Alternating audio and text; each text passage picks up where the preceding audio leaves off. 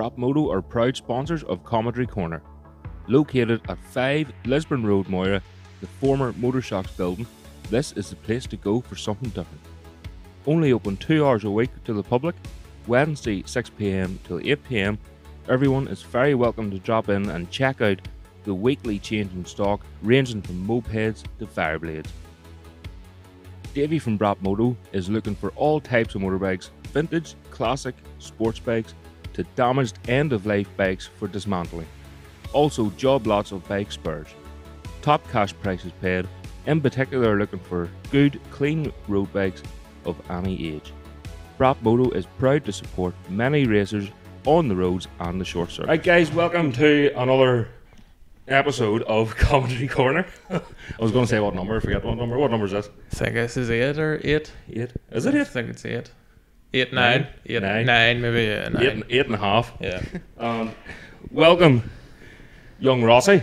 How's it going, buddy? Good. Rossi Dobson. Yeah, looking forward to this. Uh, thanks for having me. Uh, no problem. No, thanks for having us. Johnny, good man. Thank you. We're here at Vale Link in Belfast. Oh, great spot, like, It is. great spot. And you're obviously a walking fucking advertising board for Link. Oh, absolutely. I'm a walking colouring book, as some people call me. walking colouring, colouring by numbers. Coloured by numbers, letters, a few colours. Yes, Joey Dunlop there and Robert Dunlop, Yeah. and and you're getting a few more. Yeah. So I've got uh, Joey's there in the lower arm. Got a food Robert piece up there. There's actually in the background Darren Lindsay in there, but Oh yeah. we're actually we're going to take it out. But I actually big fan of Darren, so I won't leave it in. Oh, All being well, I've got William Dunlop going in there, and then Michael up there. So we'll finish off a pretty cool sleeve. Probably is, and more to come. Oh, there's pl- plenty more to come. We're getting started here. What's what's it like when you're? I wanted to get. We were talking earlier. I wanted to get a a sleeve years ago when I was racing myself, and I was afraid of it coming off in the leathers, or you know, or putting the leather, forgetting about it, and then ripping half my arm off, you know, over the summer. But I just never got around to it until I quit racing. So everything's coming together now. What do you get it during the race season? Your tattoos, or Sort of, yeah. I mean, like, there, there's some points in the year when obviously I can't get tattooed. Like, I'll be like talking to Johnny, be like, right, this is sort of what I want, but I can't get it in the next few weeks or whatever. If you've got availability because I'm racing here, then I've got this on, got that on. Fun like, whenever he was down in was Saturday, we were talking about. I we've been talking either way about working on this sleeve, and I was like, right. Here's sort of like the rough time. It'll be it'll suit to get tattooed because I've got this race coming up, got this one, and I don't want to obviously go out sweaty leathers and end up you ruin a new tattoo because it ends up just it destroys the full thing, you know. I end up a mess. Yeah, that's the last thing you need, but it's, this good so far. Mm-hmm. And obviously new sponsor. Yeah, As well. new new sponsor, so I can't thank Johnny and and you know Vale for for coming on. You know, like I've been getting tattooed now for a good while now with Johnny, and obviously the whole shop, everyone here is they're all bikers. You know, Mhm. Glenn, um, Hartley, and Johnny are on the bikes. I think Dally as well's definitely had a bike because he's talked to me about it before. So it's it, it's cool. Like when you come in to get tattooed and like you're, you know, say I'm getting tattooed like that. Other was like near a five hour sitting, but you're in the shop for seven or eight hours, you know, throughout the day. So you get to spend all day talking about motorbikes. It's great. yeah, I I actually I knew shit whenever I first came here because I came with a I drew one years ago that I wanted to get done and I never got a chance. And then the wife she got me a voucher for Christmas and I thought, right, happy days. I'll go down, see what the crack is. And it was her boss that actually recommended. I think he's friendly with one of the guys here. So I thought, right, we'll head down with the voucher and we'll give it a go. And I give my design to Johnny. Johnny put it on the computer.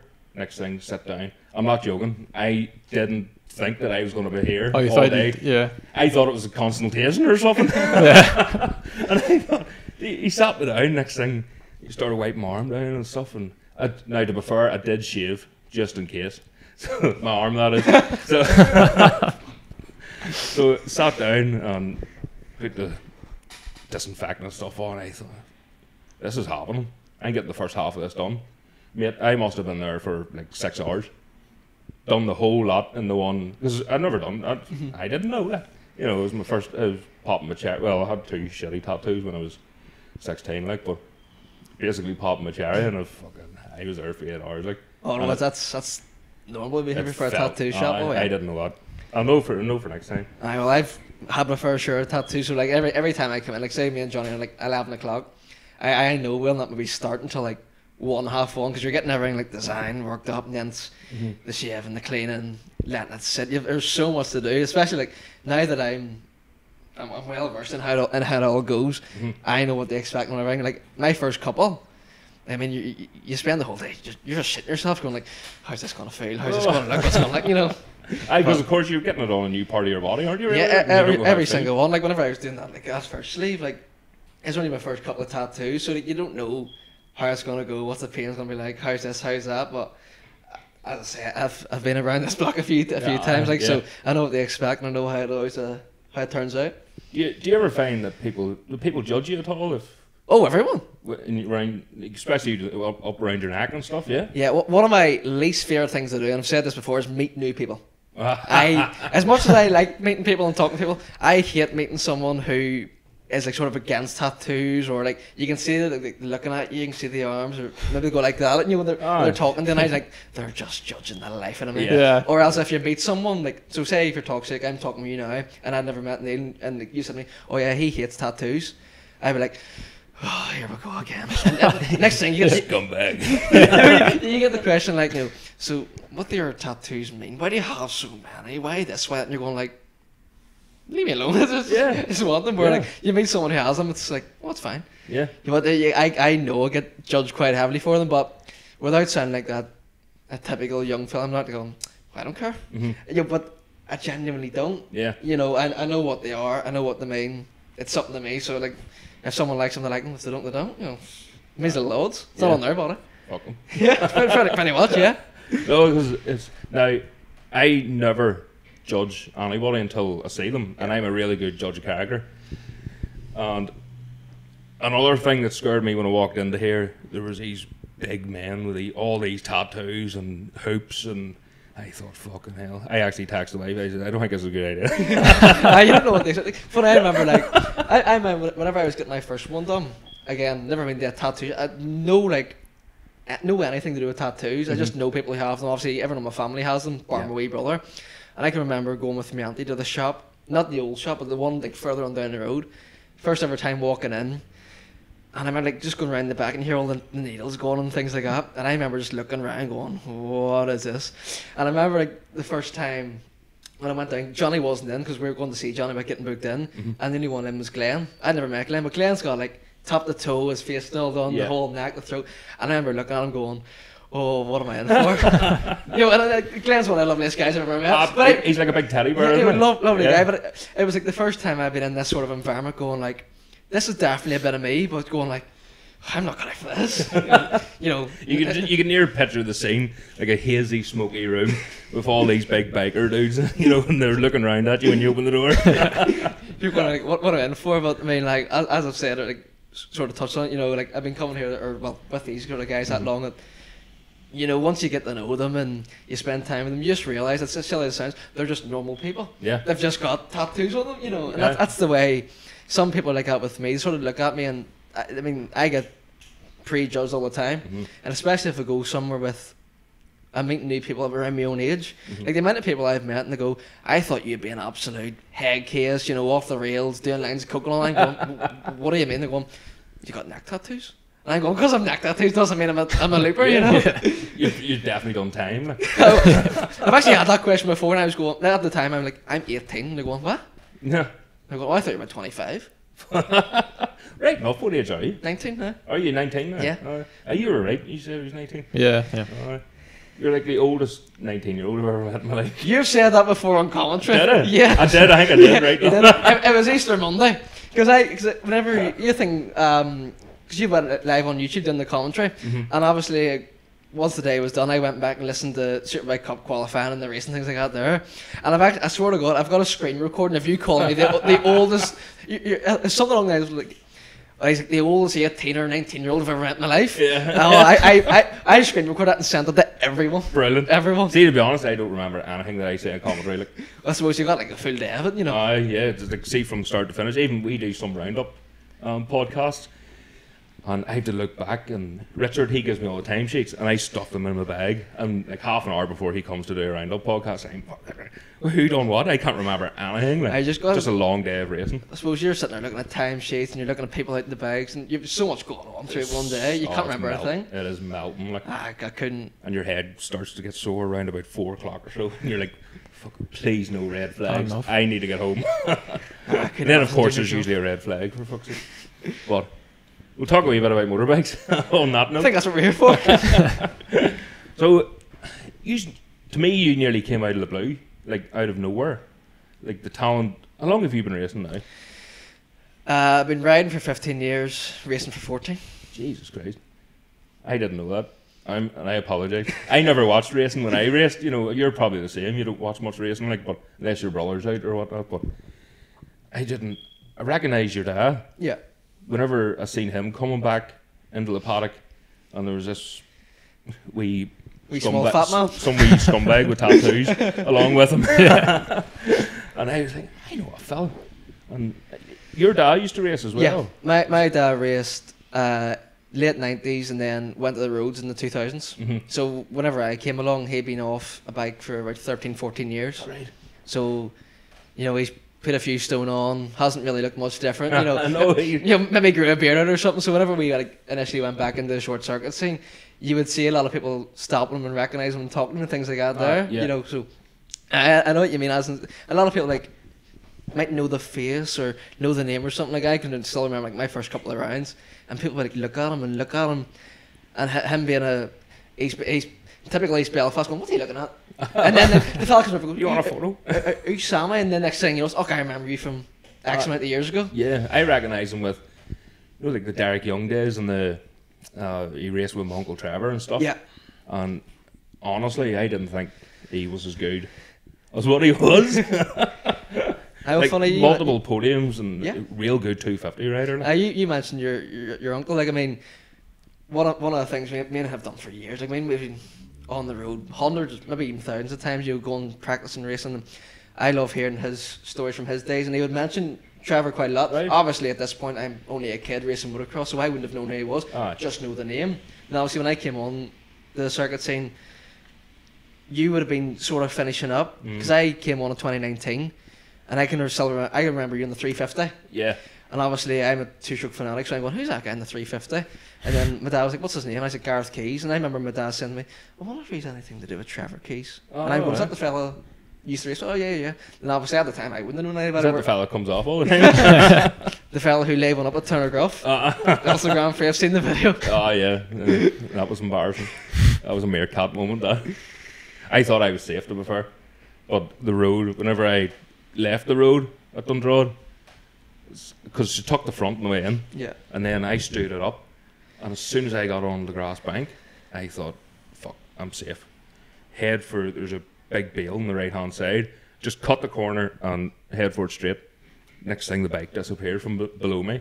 There's a big shock for there. drainage, and the bike went down the shock, and I just went, and it, the bike catapulted up there, went over the top of Sean Anderson, because he said he came back in with that, and he says, "What shape's the wee bike in?" He says, "Oh, it's not too bad, you know, because you're only light." And he says, "I thought it was going to be worse than that." Because I looked up like this, I went sailing. and it went sailing up over the top of me, like, and landed in the shock the other side of the road. But yeah, no, I've had plenty of embarrassment moments. Have we all? But your your dad racing, uh, was there ever?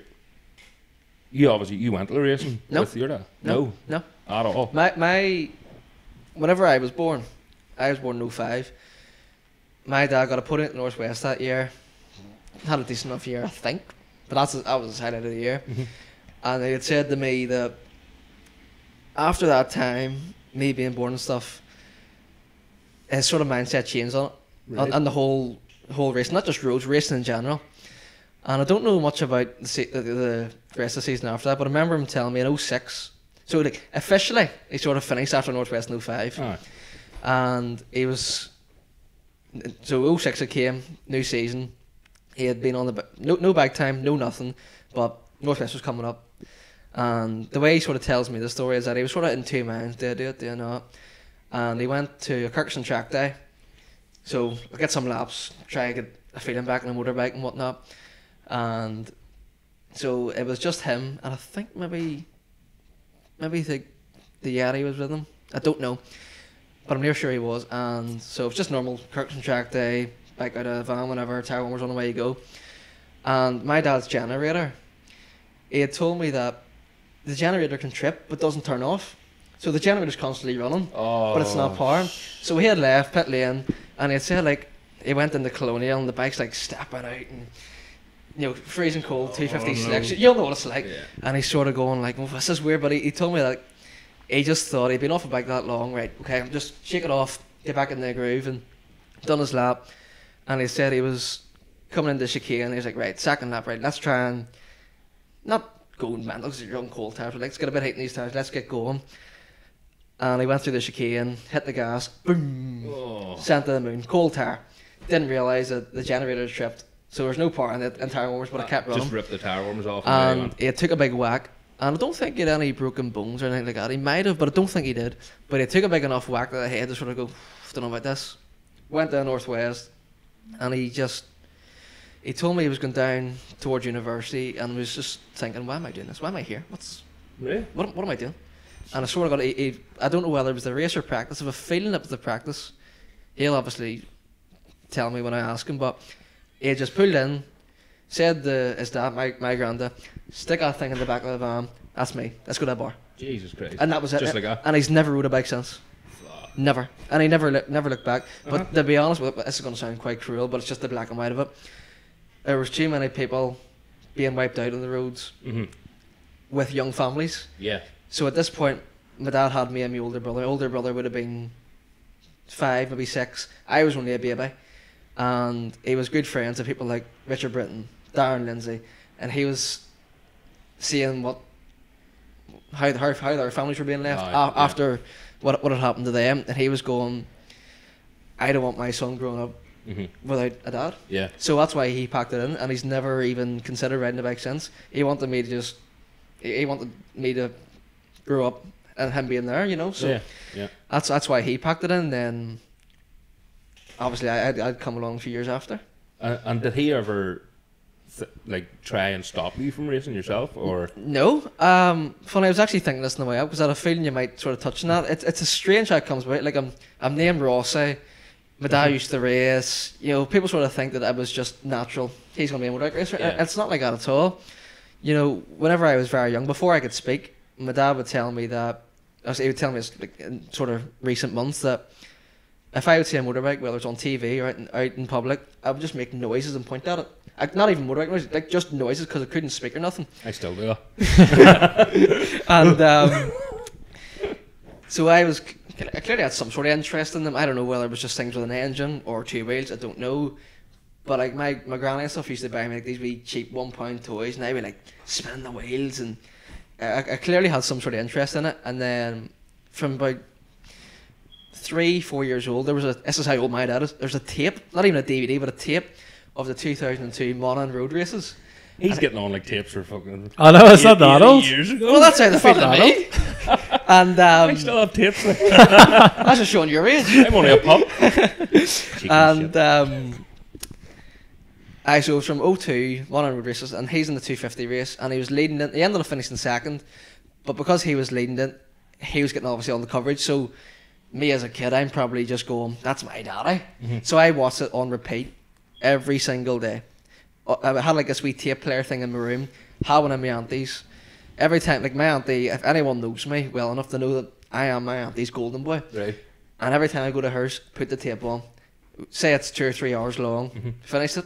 Let's rewatch it. And I done that every night. Turn it over. As, as, as just a wee kid. Brilliant. Prob- probably just like looking at it going, that's my daddy, you know, Yeah. that, that sort of thing.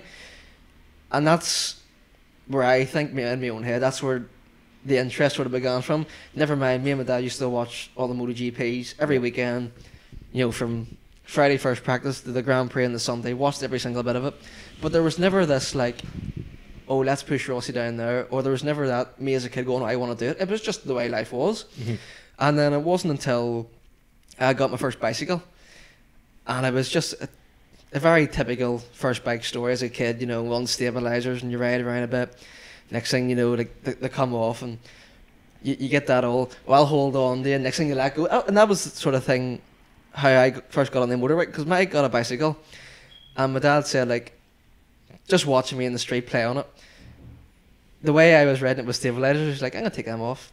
So he took them off, did the whole, I'm gonna hold on to you, just you keep pedaling, not let go, let go. And he he says that Fucking liar. Wh- when- when- Whenever, I fucking liars, right? He says whenever, whenever he let go, I, I don't know, I must have felt his hand not being like in the back of the seat or something. I Yeah. had turned around and the fear of God was in my face. Ah, but, but but he said, just keep going, just keep going. And I did. And he says, like, within 10, 15 minutes, you had your knee down.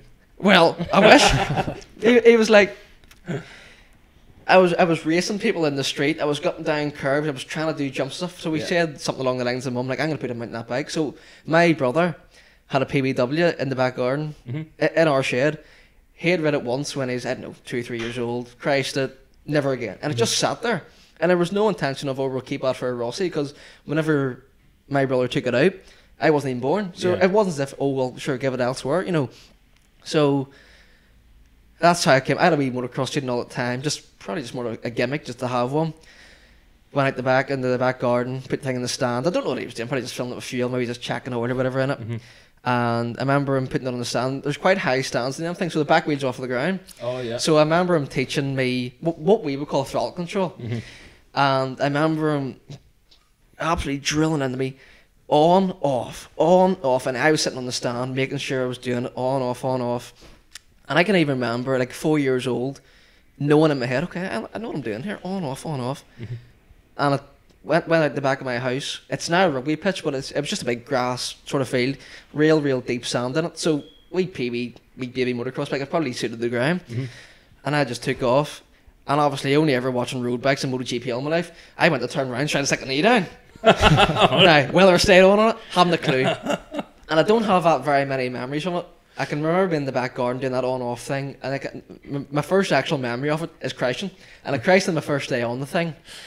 Um, no idea how it happened, but my dad said somehow I high sided it. Yeah. I'm probably the first person on earth to high side a PW50. But I can remember, like, whenever I was on the ground, crying my eyes out. Not because I was in pain or nothing, because my mouth was filled with sand. Oh. so he's, he's running after me. My next door neighbour, she's absolutely shitting herself, going, oh no, he's all hurt, he's all hurt. And I just remember crying 'cause there was sand in my mouth. And that was the first time I ever rid a motorbike. And then at five years old, I went to do my first race. But my dad had been out of the scene at that point for, I don't know, what was that, 2009? So probably three or four years. Mm-hmm. But he'd never been in the motocross scene, so he had no idea what age he can start and all. So at five years old, took me to wee grass track. Organizer said, look, he can't race. He's, he's not six. That's obviously the, the legal age. But I think I think he he didn't like sweet talk the guy or anything, but he just got like a one off as and look, we'll let you race this one time. Yeah. Don't come back till he's six. Right. So I did that first race, have some sort of vague memories from it, but nothing worth talking about. And then six years old, got a wee mini venture, which is a proper KTM 50, Right. and that was my first proper race bike. And then from then on, it's went from then to now, pretty much. Holy shit. So you started basically six year old, your Yeah. first race season. Yeah, first, first proper race season, six years old. First race at five, but I don't even think I did like a full season. I think that I can remember there's a not the field I first started on, but a field like beside it. Mm-hmm. There was not like a motorbike track, but there was people just on me pit bikes just mucking about Yeah. who would have just went round and like in in wee- wee shapes and like made a track, mm-hmm. and it was only hundred yards from my house. So eh, I went around there- around there and just sort of learned, just riding around, just as as you do. But for whatever reason, I hated that bike. Don't know what it was. Mm-hmm. I can't remember hating it, but my dad said it did. And the thing laid up parked for ages. I had no intentions of riding it, and I think it's something along the lines of like, I just went to my dad one day and said, "Can I ride that?" Mm-hmm. and I did. And that was the point. At at that point, that was when I, I, I in my own head, I go, that's when I started. Yeah. Because I've never stopped since then. Oh yeah. So yeah. I think my dad said it was laid off for like seven or eight months or something. So even when I was six, I missed most of that race season. Not with any real intentions of racing or anything like that. It was just more like, sure, we're going to do a wee bird out here, bird out there. It Oh. wasn't like, oh, you're going to be a world champ. It wasn't going to be like that. not- It wasn't like Project Ross. Every know, weekend or you know, it wasn't gonna yeah. like, it was just a, a kid on his motorbike. So I don't, I don't even remember if we did many races when I was six. I, I know a, a few off the top of my head, but I, I actually didn't do a lot. And then turning sevens when I went on and, and, and started and haven't stopped since. Yeah. And how many years did you do motocross then? I stopped when I was 13, which was the end of 2017. So, unofficially, if you want to say starting from five, eight years, but I would say six or seven proper years. Yeah. yeah. 27. That would have been. You would have done the transition to tarmac Yeah. on. What, a 300? No, no, no, mini bikes. Oh, you done the I, I did it before, yeah. So, so what happened? Oh, the, the right. motocross thing was, motocross has never been my sport. Mhm. I've, I've never had interest in it. In all the years, I had no interest in watching it, no nothing. I loved doing it. Really, really enjoyed racing Aye. it, practicing. Loved riding the bike. I loved doing everything about it, but I just no interest in the sport. Like I, I would go to a race, and obviously when everyone's young, you know, haven't really got many big rivals or fallout. So like, you know, there's ten or fifteen young ones running about the paddock, and it's, oh, did you see the Supercross? Did you see the MXGP? And I'm just Oh, sitting there going, yeah. no, I watched Valentino beat Lorenzo. You know, that's, that's, that's what I was doing. You know, yeah. so I think to be honest, it sort of caught up to me because not without I'm, I'm not blowing smoke up my own arse, but I, I was quite successful at motocross. I think I'd won seven or eight championships in my years, you know, and every bike I was on, my last year or so on it, that's when I'd won everything. Mhm. So I sort of built a bit of time on the 50, built a bit of time in 65, and then in my last year in all of them, it was like championship, championship, championship. And it wasn't like you're going to win them. It just happened because I sort of served my time learning how to do it. And then it all sort of fell into place in the last year. And I, I've done, well, say two years, maybe a year and a half of British Championship in the motocross. And to be honest, it scared the shit out of me. Yeah. I think it was because you're going over to England and They're like nearly professionals, sort of. Y- yeah, you know, you're used to motocross over here. Rock up on a Saturday morning, and that was just the way it is. You went and raced. You know, you're packing up at three three o'clock in the afternoon back home. Where you go over there, it's a few days before. You, you're everyone's been on the track. You rock up. It's like three bikes in the awning for one rider. A big, massive sixty thousand pound mm-hmm. hours. You're going, what's this about? And you know, I'm sure we'll get into this probably a bit more as we go on. But even motocross, it's all money. Yeah. So Dad's not on a budget. He's just on whatever he can afford. My granda sponsored me. If you say, I wouldn't say sponsor, but probably technically that's probably the right word to use. Mhm. You know, paid a lot Yeah. to have me there, and without sort of sounding depressed or whatever, he was sort of come to the end of his life Mhm. and eventually died. That definitely played a part on me. And then going to race British motocross, it was all stress, stress, stress, and I was stressed, and my dad was, and I had to try and put on this face that it was 100%, I was fine, Yeah. and I hated it. Yeah. Deep down, I hated it. And there wasn't one race. I think it was something real, real stupid. Like, I'm going to give you just random figures here, but it was something like this. Like, say out of 20 races I did, 17 of them fell first lap. Holy shit. And that was for no other reason than I was just so nervous, so Yeah. agitated that And you had the mask on just to try and. yeah, and I, it, was, it was just like once I fell off and got back on, Had pace. Yeah. You know, and like you know, my first couple of rounds, I would qualify fairly well for never seeing the track. While everyone else had been practicing on it two or three days that way, because in motocross, it's not like circuits where you might get a test day the day before or something. Mhm. You can be on that track all week and then go race at it. Oh, right, so yeah. you know what the story is. And I think my first ever British race, I qualified 12th. Only reason I know that is because there's a photo of me on the dummy grid and there's a wee 12 beside it. Mhm. You know, so it wasn't as if I was super slow, but I mean, I was bottom half of the results every race simply because I fell first lap, shit myself, and then, you know, that, that was how it went. hmm And then, I could never understand motocross and the qualifying. Because you all line up in a fucking straight line anyway. oh, I just, I know, No. it's, it's, it's, it's more to just pick your game. It's just like a free practice. It, you know, say say your your turn's a right hander, and some people like to go super tight, squared off. I always like to do like sweep into it. So to Oh, be so honest, you, get a choice of gate. oh, that's, that's what it is. So if you Oh, qualify right, first, okay. first choice you get there's forty gates, go where you want, Oh, right. and that's that's that's how qualifying works. We're obviously on circuits, it's it, one, two, three, four. It's very obvious, you know. yeah.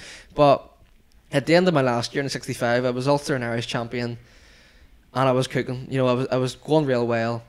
As I say, hating British Championship, but I've come over at home, and because there wasn't the same stresses, I could go out, and again without sounding like I'm up my own horse, I could just dominate. See after the first lap, boom, checked Yeah. out. You know, I could break 11 or 12 seconds in the first two or three laps, and see at that point, it's just watching the pit board. you know, take take the pace down, just watch the board. Yeah. Say it's plus 10, okay, next lap plus 10. Maybe drop down to plus 8, okay, go back up. Yeah, and that's, that was how I did it. And at the end of my last year in 65, we were talking about going European. Mhm. And I just remember going, no, Yeah. I don't want to do it. Simply just because I didn't have the mindset to go and race at those higher levels. And we ended up going 85. Um, we got a TM, which are no one really gets TMs. Mm. When you move up this 85, most people are 150 Honda, KTM, or Husqvarna. That's what you, that was just what everyone went for. We went for a TM. I really liked it, Mhm. but my dad, knowing me, sort of never thought the chassis suited me and this, that, and the other, and things didn't. He he knows me as a rider at that time better than I did. Right. So he would look at it and go, "No, that's not right. You could probably do this. Could probably do that." But the 85 clicked right away. Mhm. And you know, within my first year, I was on the podium in Ulster Championship. I was running at the front of Irish. I think I might have won a couple of Irish rounds, which at that point for me, on the 50 or 65, it would never have happened. First year, you're always way down. Second year, a bit higher. Third year was cooking. Yeah. Where on the 85, right away, it was like, this is all good. And then next thing you know, it's like, Dad, this isn't for me. Heart's not in it. And I can remember the day standing in the living room with my mum and my dad, pretty much telling, I don't want to do this anymore. Yeah. And I remember sort of not crying, but sort of like tearing up and stuff. Not because I was quitting or anything like that. There, I I just knew like you spent all these years, very successful years, to throw it all away. And I think that's what my dad sort of thought. I was Yeah. like, no, I want something new. And I knew in the back of my head circuits, Yeah. and that was always my my thing. My thing's always been roads. But obviously, when you're 13, it's not going to be roads, it's going to be circuits. And I think, to be honest, my best mate in life, Jamie Lands, had a big impact on that because he had he had broke his hip in 2015, 16 at, at British, and because of his hip injury, no, he, he dislocated it, and um, he had went to circuits because he couldn't ride motocross anymore. So I would go to a lot more circuit races in 2017, and I'm sitting there watching him on a wee one type five Aprilia going, he's living my dream Yeah. everything he was doing, I'm just going, that's my dream. That's what I need to do. That's that's my thing. And I'm I wasn't like never I was never jealous when I got off him, but I was just looking at him, just envying everything and going, that's what I need to do. And I think I played a big part in me going, that's what my new challenge has got to be. Um, remember Gavin Johnson? You might have raced on, oh, yeah. yeah. He he lives up the street from me, and he had retired and was buying these like wee 140 pit bikes. Mhm. You know, these absolute scrap heaps, but stripping them down and making them in these supermotos. I'd never heard of pit bikes like with supermoto wheels and going, Aye. what's this for? And he would have shown me like photos and stuff of like going around the knee down and I'm going, that's like circuit racing. Yeah, yeah, it is. And I can remember my, my last ever motocross race, only a wee grass track, but a crack. And this new mini bike championship came out, IMC. Never heard of it. No idea. No idea what it was. And uh, the Boyd family who run the championship and started it up, I remember Michelle telling me, well, we've practiced day in three weeks. And I remember saying to my dad, can we do that? And he was going, no, if you want. and I can still remember as clear as day for three weeks. It was the longest three weeks of my life. Yeah. That's all I thought Just about. wanted to get Day, out. I just wanted to do it. And Stevie Lance, Jimmy's dad, had sourced me leathers, boots, and gloves off some boy over in England that he had met. So we, we I remember meeting him. He was going to I think Northern Ireland match or something. So he's in Belfast. Got this big massive box. All the gear was there, and I was like, okay, it's it's sort of becoming a reality. This is happening. And I think my dad sort of said yes, as in you can do it, but not thinking follow through. Like, I sure we'll give it a go, but I never, I don't think that he understood how much I really wanted to do it. Right. And Gavin had said to me, sure, take one of my bikes. Mhm. So we were going, happy days, brilliant. The day before it, I put all my stuff on, just trying it all on, whatnot, and my dad was like, don't take this thing for a spin. Just, not even to get a feel for it, but just understand what you're sort of going to be doing. Like, I'd never had a front brake in my life. I don't ever use back. You know, we silly things like that. Yeah. Yeah. So, out the back of my house, this big lane that joins two schools, but it's only just this lane. It's not like really, you don't really get much public on it, and you don't really get any more cars. Maybe like the old dog walk or whatever. Mhm. And I took it up this lane, just up and down and up and down, and the gearbox jammed. Oh. got the got to the top of the hill, and I just I remember putting the clutch in, but there was no freeway. I'm going, that's gearbox, Yeah. and I'm waving down the that come up. I can't push this thing. Oh. and we ended up getting it back to the house. And I can remember saying, "Are we still going tomorrow?" No one at the top of my head, this thing's rode off, and he's Mhm. going, "No, we can't. Have to give it a miss." And I can remember thirteen-year-old me in all my leathers, all the gear. I started to cry Just because I. I was so disappointed because I was like, I waited all this time, all sort of all, all my days to make my first ever day on tarmac. from knowing three weeks before, we're on day 20 out of 21, this is going to happen. Oh, Next thing is, oh yeah, we're not doing it. And I, oh, I can remember crying. I was so disappointed. And then my dad was like, right, I'll see what we can do. And I think he spoke to Crystal Black. And at that time, I probably wouldn't even knew Crystal. Mhm. And Jamie Coates was hiring bikes out. At this point, I'd never met Jamie. I don't think my dad ever met him. Obviously, I'd met Ernie and stuff. Mhm. So it was just this fella coming. You rent the bike off him. I think it was 150 quid or something for the day. Right, that's what we'll do. Go for it. And my first day on tarmac was nothing but a disaster. first lap, I took off. The thing ran out of fuel. But we thought something was wrong with the bike, so I missed the first session. Mhm. Second session went out in this bike, and it broke down at turn two.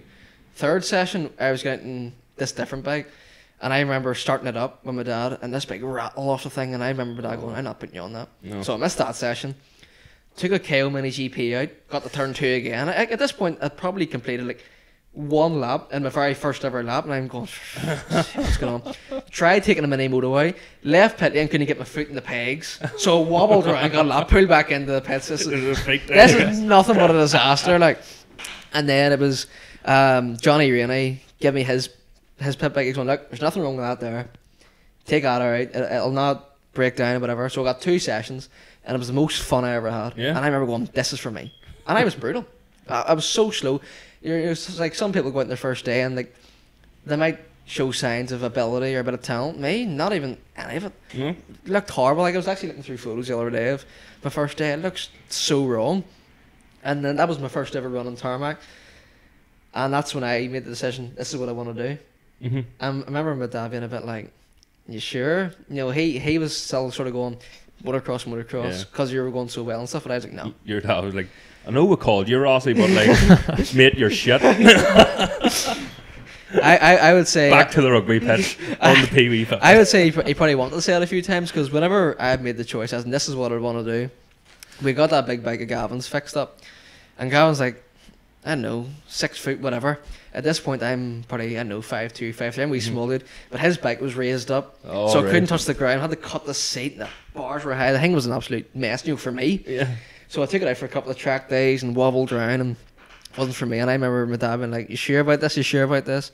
And I said, "Yep." So we got a got our own bike, we small frame, and the first two runs on it, slow as hell. Mhm. I'd shown no signs of any improvement, no nothing. I can remember coming in one of the sessions and my dad sort of not give me a bollocking because he, ne- he never really has, but sort of had a bit of a go at me saying like, "You've made a mistake." Oh, You've yeah. made a mistake. We need to go back to motocross. I can make a phone call and have that TM back in no time. and I remember going, no, this is what I want to do. And it was the, the track day after that. So would, it was two wet days and then we had two dry days. And the next dry day, I made a wee bit of progress, starting to develop a bit of a style. Not in terms of like putting my knee down or nothing, but you could see I was, the bike was, I, I was flowing with the bike. Where before, like the bike was down here and I was sitting up and didn't know how to go in the corner. And it was enough for me I go, right, it's a bit better, it's a bit better. Mhm. And the, the day, the next, the day after, the, the next practice day was the day before the first ever race weekend. And it was the first time I got my knee down. And I can remember, like, we, we got the pegs raised because I was scraping the life out of them. So I was carrying, like, decent lean angle, got the pegs raised. Remember going around, putting my knee down for the first ever time. And I can remember screaming in my helmet. Couldn't believe it. Scared the shit out of you? No, no, no. But I was like, I am buzzing. That's Oh, my yeah? that's my life complete. Got my knee down. And at that point, I was starting to. You, you could see visual improvement. Okay, it's it's not bad, but it's sort of getting there. Went to Bishopscourt for my first ever round. Won first three races. One rider of the day, things like that. And from that point, that was it. Holy shit. That's where I am. I've shown enough Mm-hmm. Sort of improvement in the last couple of days that for the general person watching it wasn't that fast, but it was fast enough to win the kids race. I was Yeah. only 13, so I was a kid myself. And when I won the first three races, it was like, this is it. This is what we're doing. Uh-huh. And then it, it stuck ever since. There, there was never no, you sure about this? It was, Ah, it just clicked with you, and that was it. this is what we're doing now. And I ended up, I don't know how many races I won that year, but by the end of the year, I won the Irish Championship.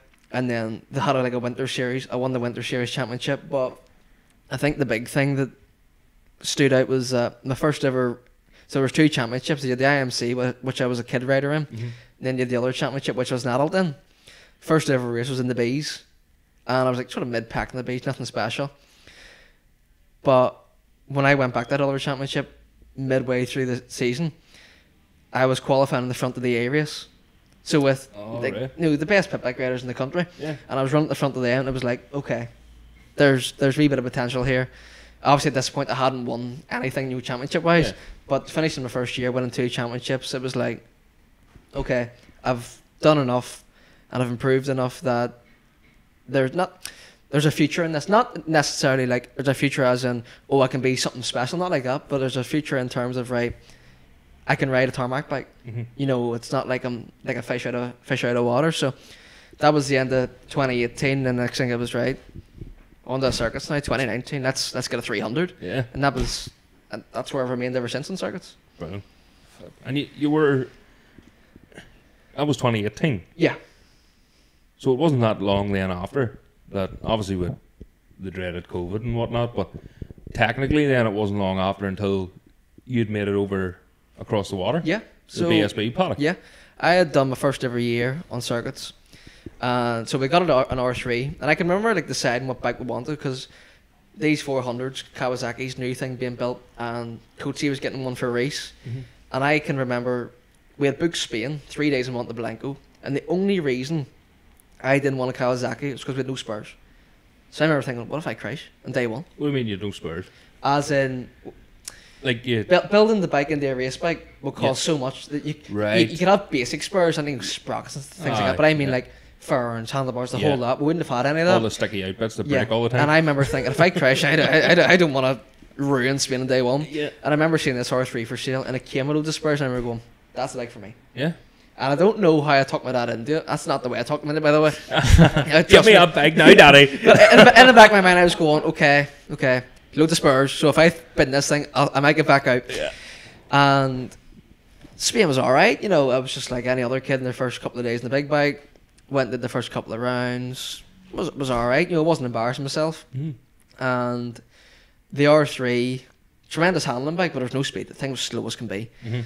So Because it only sort of came out then, sort of the R3, yeah, didn't it? yeah. That, I think it was a twenty. It was a fairly fresh bike at the time. Mhm. I think it was 2016 bike. Yeah. So it wasn't that old, Mhm. and it was a good bike for what it was, but it just didn't have the legs in the 400s. Not that there was many 400s, maybe one or two, but the thing just didn't have legs in general. And Mm. You know, I was I was good all through the corners, but didn't have the legs on it on the straights. And we were sort of talking about right, we'll get one of these 400s, see what we can do with it. Um, so we'd order one in, talk to Elke. He was like, "I'll build it, we'll get it." And at that point, Bob Wiley had approached me about riding the Moto 3. That's right. Yeah. So I took it out for a track day, and at, at, at that point, I'd always wanted to ride a 125 GP. yeah. I'm a two stroke person. two-stroke, 125, 250, they're my thing. You know, if someone says to me now, What's your dream bike? It's not a MotoGP bike, it's a 250 Honda. Yeah. You know? Yeah. So this was my first chance to ride like a 125, similar sort of thing. it's a Aye, Moto 3, but the 125 same chassis, sort of. the whole thing. And I took it out of the track day at Bishopscourt, and I remember going, Oh, that thing's awesome. hmm You know, I was so uncomfortable on it, but I remember going, I love that. And Bob was like, Well, do you want to race it? So I parked up the 300 to build this new 400. Took the Moto 3 out. First couple of races, podiums, and next thing the wind started to come along. The lap times weren't horrendous, they were, they were fairly decent at the time. So I'd done like a few rounds in the Moto 3 and continued on. So I'd done about half a season in the Moto 3. By the time we got the 400 built, I'd missed probably a third of the season on it. So it wasn't as if I was like in contention for championships. Not that I wanted to be in my first year. I just wanted to go out and learn and see what I could do. Yeah. And then towards the later stage of the season, I was on both bikes, 400, Moto 3. And the 400, was started to get it working. At this time, the Moto 3, I was winning races. I, was- I was winning most of them. You know, I think at one point I won like five out of six races. So obviously, there's only two races at each Ulster, each, uh, each Ulster round. Mhm. So I'd won pretty much three rounds in a row, bar one race where I crashed. So riding the 400 at the same time, getting podiums. You know, the, the racing was, was good hmm you know, I was I was I was the only rider in that year as a rookie to win on two different classes of bike and two different manufacturers as well. So it was quite a cool Brilliant. thing to, to, to take with me. Um, And of course, the two, like, all right, they're two smaller machines, but like the the Moto Three machine is a hell of a lot lighter, Oh, yeah. and it a lot more nimble. The tires are skinnier. po- and polar opposite e- bikes. even yeah. to get used to that. Yeah. you know, and it's good to see because a lot of young riders coming up now, they're riding the one bike, and that is it. yeah. Yeah. Like you get, for example, there's today Michael Dunlop 27 wins. Absolute goat. Well done, Michael, by the way. And not that he listens to this podcast. no, I don't think he does. But anyway, oh, Conor Cummins listens to it. Oh, He- he's a yeah, fan. Maybe. Well, he can yeah. tell for us. Aye, he can. Yeah. Yeah. I tell Michael, well done. Aye, but he, like they're riding one two five, two fifty. Same as Robert and Joey. Aye, they can do all different classes, Yeah, whereas yeah, yeah, a lot of people don't do that now. Everything. Yeah. Yeah. And it's, it's probably because more of the cost of things. Yeah, well, You know, yeah. Like we bought our first one two five. I think it was like three hundred quid or something, or five hundred quid. Is that the Roadrunner one? Aye. Aye, yeah. And Don't even get a set of tires shot these days. no, you wouldn't, you wouldn't get a set of tires for. it. We ran the same tires for six years for it, folks. Fuck, I wish I could. I got about six laps. Aye, that's sick. Uh, it's too expensive now to do that. Yeah. But yeah, but to even get the hang of the machine, you know, I know what the it's, like like me and you, we rode multiple machines. Yeah. You know, it doesn't sound like much, but for someone who has never done that, Yeah. it is It's a difficult. difficult thing. That it- it's just adapting. Mhm. You know, if you know one bike, then you go to the next one and you know the other one too. It's just that- it's You're just it's- putting on a new suit sort yeah, of thing, or a it's not suit. like people, people sort of think, oh, it's adapting to two different bikes. It's not. It's two different styles. Mhm. A Moto 3, 125, you'll know yourself. You've rid small bikes and bikes. You'll know like the small bikes are all corner speed, super late braking, but it's all about momentum, keeping it going. yeah, The 400s are 50, 60 kilo heavier, and you try ride them similarly, but the whole way you brake, how you throw the thing into a corner, everything's so much different. But it's like having two pairs of old slippers. You know mm-hmm. this one, you know that one. yeah, So it's like, go out in this bike, do what you gotta do, and then on the warm up lap, it's like, okay, let's readjust a different one. yeah. And by the time you go from lap one, you know what you're riding, you know what it is. Yeah. Or if it's like two bikes you've never rode before, your head will be fried. you know? Take half a half a race to get Oh, the hang of it. a like. hundred percent, yeah. But it does it takes you about maybe three or four corners. Yeah. And you're like, right, I know what I'm on here now. Yeah, you know what you're doing. Yeah, but so you were saying the British for your motocross. Yeah. Compare that to the British short circuits. Day and night. Yeah. So when we decided that we are going to go back, and at this point we had got our own Moto 3, and this new British Talent Cup thing was coming about, and we're like, it's British Championship. If we can do it, we can do it. And we'd only originally planned to do about half the season, and thankfully the whole COVID thing only made it half a season, so we got Mhm. technically a full season. It was only five rounds, Mhm. and I remember my dad talking about it and wanting to do it, and I remember him telling me, "Are you okay with this?" And I remember having the, the, the conversation similar to what we're having now, like as in the whole mental side of it, and going, Mhm. "I'm ready for it. I know what they expect. I know what's going to be there. Yes. I've been there and done it before. I've made the mistakes, so I knew what they expect. And like from round one, it never phased me. You know, the only the only difference was that, you know, you're you're watching the world's fastest road racer Peter Hickman walk by and say hello to you, you're going, oh fuck, there, there, there it is. You know, where you usually see these people on TV. That was the only difference for me. You know, from a, like a mental side, of. I I could have went no problem. It, it wasn't like lying up in bed at night, you know, worrying, oh god, I've got this tomorrow, I've got that, or it, it sort of just came second nature. Mhm. So I was very, very comfortable racing the British paddock. And you only you only went 300, didn't you? No, What was that the super super team or something? that was called or uh, super uh, junior super sport. That was last year. junior super sport. so ah, in, yes. in COVID, we had rode a Moto 3 Mhm. and it was only me and my dad. We just went over in the van, caravan, no idea what they expect, and it, it took us by surprise, yeah. big time. Really? Simply because you're going over, and every team had like two or three bikes for each rider. They had like two or three mechanics, a couple of technicians, and you're sort of going like, we're just rocking up on a transit van in the caravan like jippos. Brilliant. you know. and it, it was a rude awakening because like we had no idea how to set a bike up. Mhm. I can come in and and say like the front's doing this, the rear's doing that, and you would change it, but it would never really get any better. hmm You just made a change, and it wasn't up until round three at Silverstone. At that point, we were struggling, but I thought it was just I I just thought I wasn't good enough. But we didn't know how far away we were set up. Like I mean, a Moto three, you, it shouldn't be when you hit the throttle. It should be spinning up. Jesus. That's how bad it was. I'm so out of place. and we started working with Simon King, who now works for Michael Dunlop. Yeah. And he had looked at our data. Because you had like, um, I say data. We had like a wee HM dash on. So he looked at like the the engine maps, the engine brake and things like that there. And adjusted a few things to suit. But he started to set the bike up suspension wise. And at that third round of Silverstone, I was like 17th, the 20th, roughly Mhm. give or take a couple of people crashes. I might have got into the points or whatever. You know, my result looked better than what I was actually doing. Round four with Donington. and he set the bike up, and the thing was damn out different right away, straight into the top ten. And I wasn't riding any differently. Yeah. It was just the bike was right. It was more planted. Yeah, and I just knew. it- Sometimes like you just leave pit lane, go into turn one, you're going, oh my god, Yeah. this, this is just a new motorbike, and that's how I felt right away. And had a real, real good round, and then went into the final round. Brands Hatch, never been, know nothing about it, just knew the layout, Mhm. and that's when everything clicked. Yeah.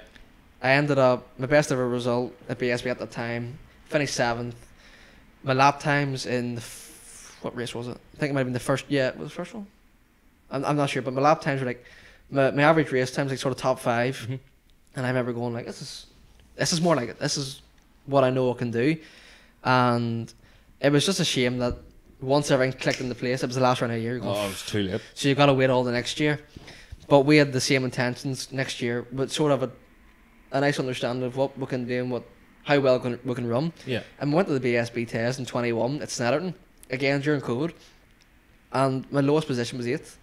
But I was run, like during the sessions, I was top five every time. Mhm. You know, P2, P3, might have hit P1 the odd time, but it was P2, P3, P4, back to third. And we were like, this is this is good Yeah. and everything felt really good.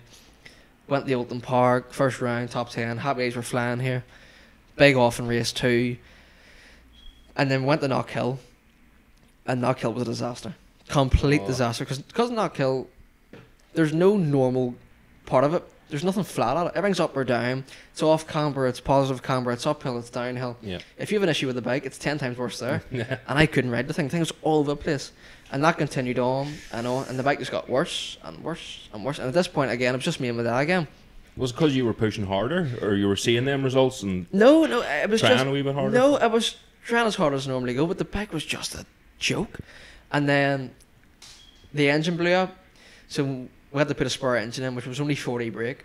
Mhm. And at that time, we thought that's that's a normal engine, it's competitive. Oh. And the things got that bad. I remember after Snetterton, my front tire was wearing more than my rear. The weirdest thing I'd ever saw in my life. I remember looking at the front tire going, that thing was an absolute You racing in in race. reverse. And I, I, I, I must have been. That's how bad the thing was. I may as well. And I remember getting in from the race and looking at the front tire, and the thing, the tire was chewing up, Right. which you don't get ever. And the rear tire was as smooth as could be. I remember going, what the hell? And my dad took the bike to John Creswell, Creswell Racing, Mm-hmm. because we were going to do a couple of wild cards with them for the last couple of rounds of the season. Again, like because it was a proper team, proper setup.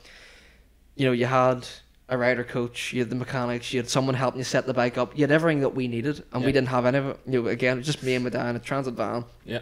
with a towing caravan, and so we decided to give. So they says, look, one of our riders has blew his bike up. Um, we don't know whether you can ride one of our bikes or not. It was a whole bit of a rigmarole, but they were like, look, either way, you'll be with us somewhere or another. Mm-hmm.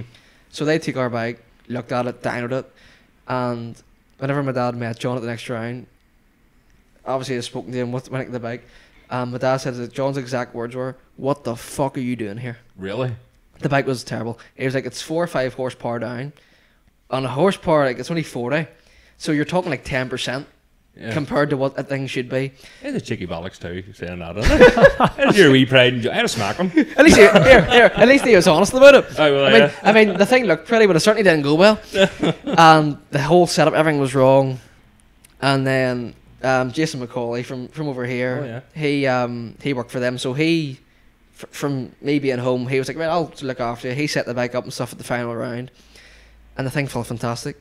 You know, out of a 20 lap race at Donington, I went faster every single Yeah. lap. And by the very end of the race, it was maybe like a second and a half off the leaders in a pish and wet race. Yeah. So, in, in conditions like that, like torrential rain, they only be a second off in the wet. It's never far. You'll know yourself, like, Yeah. gaining time in the wet's much easier than the dry. Yeah. So we had ended the season, brutal season. At that point, we were ready to quit, completely ready to quit. But we had ended the season with a wee bit of a high going. Well, do you know what? It's not me.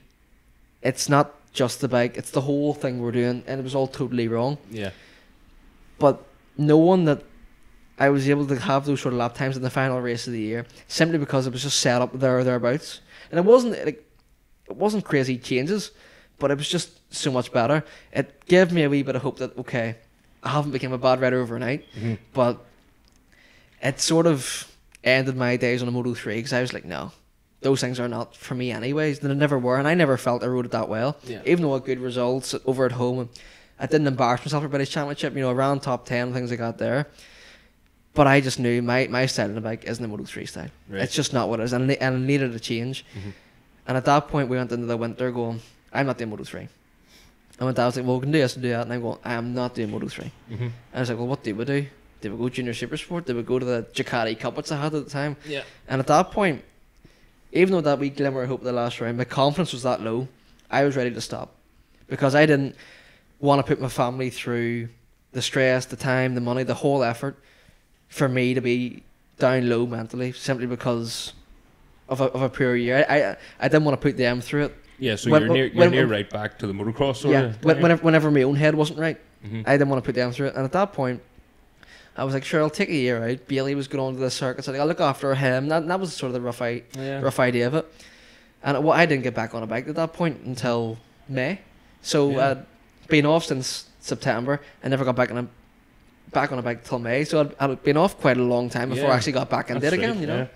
You you were going for a brave weren't Yeah, I was like? going for a I brave remember, while. I remember your wee brother starting then. Yeah. And you alongside him, and he Yeah. was like, I kept thinking to myself, is he injured or is he? You know, I, I, I didn't know. I, Yeah. I never asked anyone to prefer. yeah, like, we we had, Bailey came on the circuit scene and I was like, right, well I'll help him out. Not that I was not that I'm anything special, but I know enough on the wee bikes how to coach him and guide him Oh, in particular yeah. ways. So I was trying to look after him and that was all going well at the time, but I started to miss it. Mhm. Going to racing with him and remembering how much I enjoyed it and remembering what I was missing out on was like, I'm, I'm ready for this. Mhm. And Keith Bruce and Trevor Armstrong had said to me, like, after that final Donington round, look, we'll sponsor you next year. Mhm. And I remember sitting in the, in the van one day, like in maybe like January, we pit bike day, Bailey was out. And I heard like Brucey came to the door and was like, look, we'll help you out. It's not too late yet. We will still help you out. And if you want to come back racing, we will still help you. Uh, people sort of thought I quit. I didn't quit. Yeah. But I just knew I needed a wee bit of time to get my head right.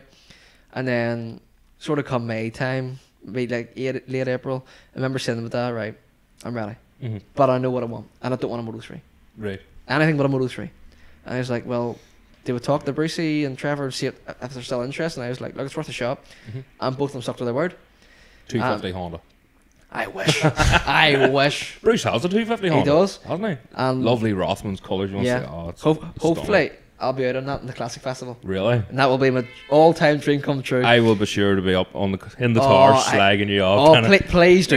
Hand over the clutch and stuff, waiting for it to see something. What's Oh, this boy at? oh, I'll just ride around, just enjoy it. But that's that's hopefully I'll be on it Right. um, for them. But they had said, look, we're sticking to their word. We'll get you a bike. What do you want? And I was like, look, I'll go back to the junior super sport style bikes. It's something to know. And we are thinking, right, Yamaha. Simply because we knew how good the Yamaha was in 2019 chassis wise, and these new ones, like the the, the newer model they made, had a, a far better engine, Mhm. a, a- an engine that matched the 400. So I was like, that's what I need. And Bruce was like, well, look, go go shopping, go find something. Send me all through. He says, send me through everything, anything you find at all, just send me. it.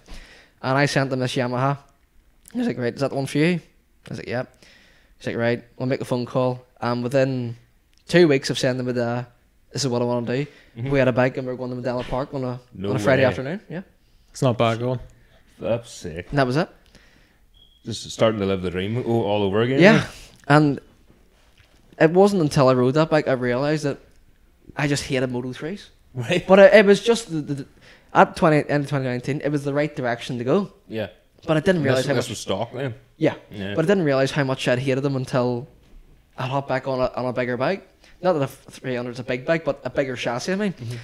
and like my first race on it, Mondello Park, they have three races in a weekend. I got three podiums right away, and I wasn't far from the front on the bike.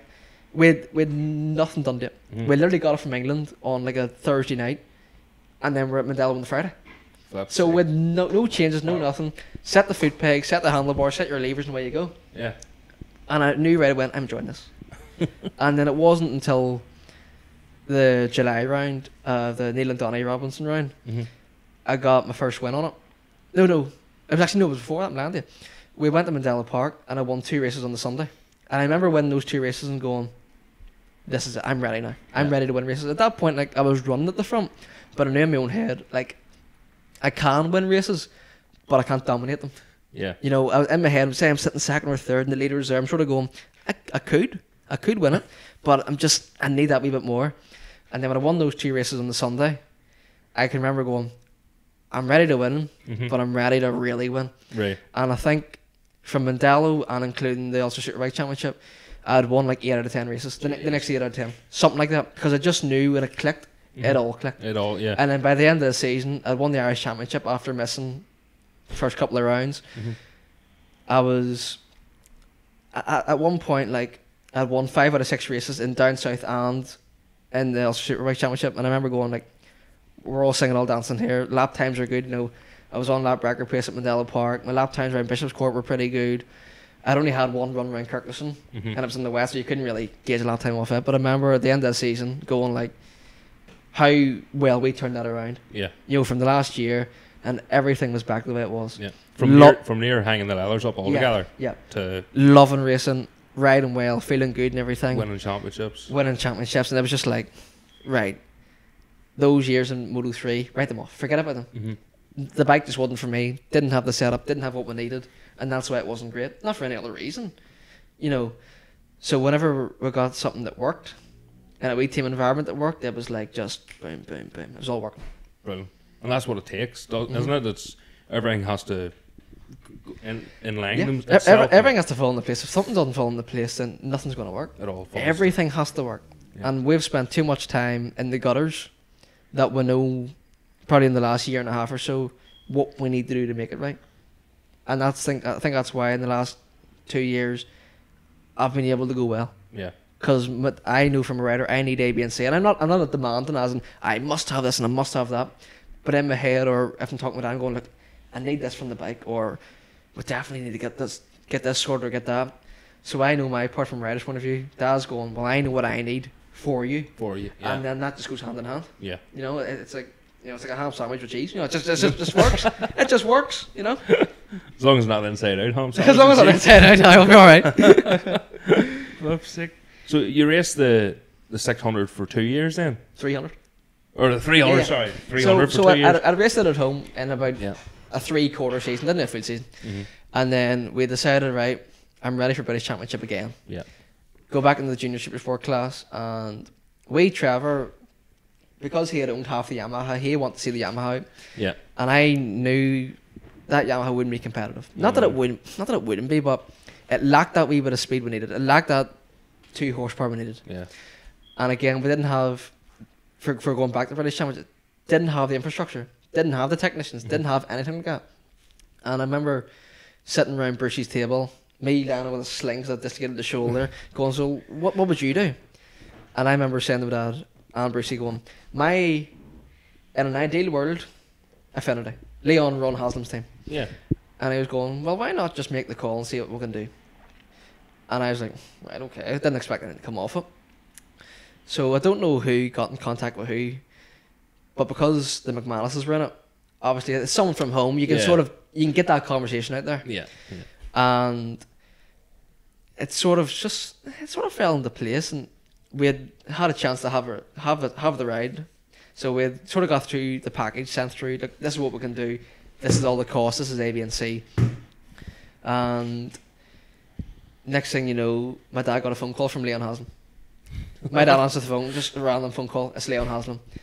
Jeez. And then that was sort of how it all came about. Next thing you know, I'm on a flight to Birmingham to go sign a contract. So you, you were you were sitting in the kitchen with your wee dad, and he's on the phone, and he goes, "It's Leon Haslam." I wish it did What? What? Were you? I, I remember like coming home. I don't know about you, but I'd have been out the back door. Like, I, no. I, I remember my dad telling me, I don't know whether I was in the gym or he was working late or something, but I remember him telling me, yeah, I was talking to Leon Haslam today. And I'm like, what? what are you on about? oh, yeah, he rung me. I'm like, what are you talking about? But I don't know, like, I can't even remember the conversation they had, but it was a good enough conversation that it was like, right, we've got to make this work. Yeah. And then again, I, I sort of didn't believe all this was happening. I'm going like, this is the ideal setup to be in. You've Ron and Leon Haslam, you know, both Grand Prix racers, you Mhm. know, all this sort of like this is just a bit mental.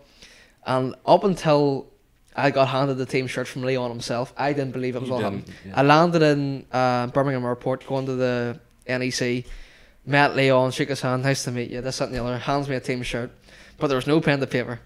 So a wee bit in the back of my head was going, it could all still fall through. You're just there to Next thing, next, next, yeah, that's what I, yeah, that's what I thought. You know, that, that's could have been what it was going to be. Yeah. Next thing it was, I got a text from the team manager. No idea, it was some random number. Ross, you need to come to the Kawasaki stage. You have an interview at this time for the contract. And I go, oh, it is really happening. Next thing I was right, pen the paper. But because I was 17, Yeah.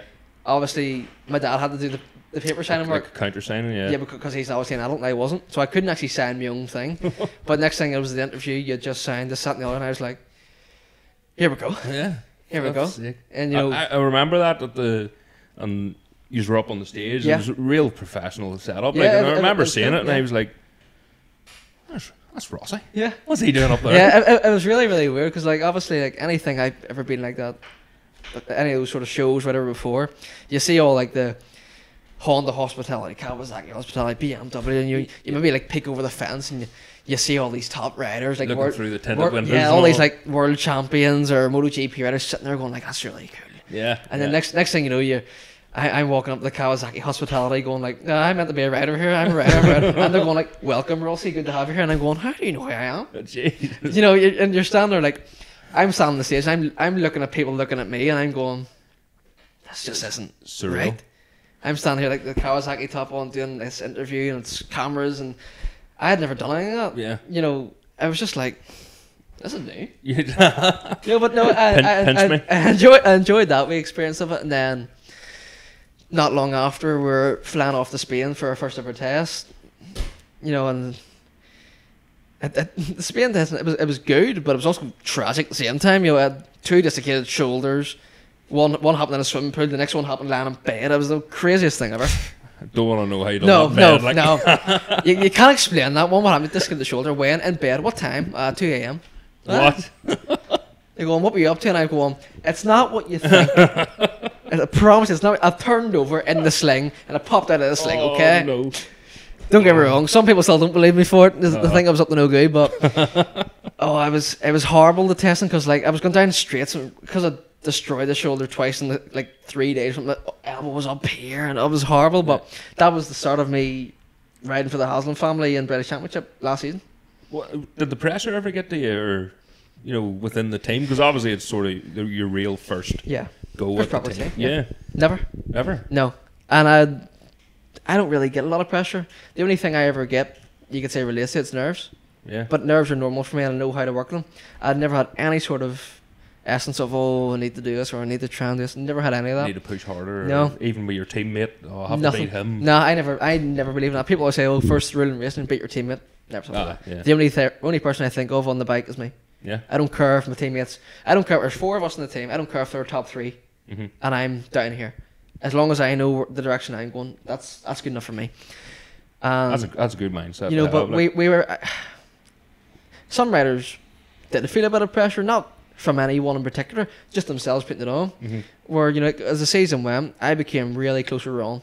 Don't get me wrong, I was friendly with Leon and stuff, but me and Ron were real, real good. right. You know, it wasn't like I came in from a session, work with him on the bike, and then that was it. You know, I was able to just go and sit in Leon's. I wouldn't even call it a motorhome, call it a house on wheels.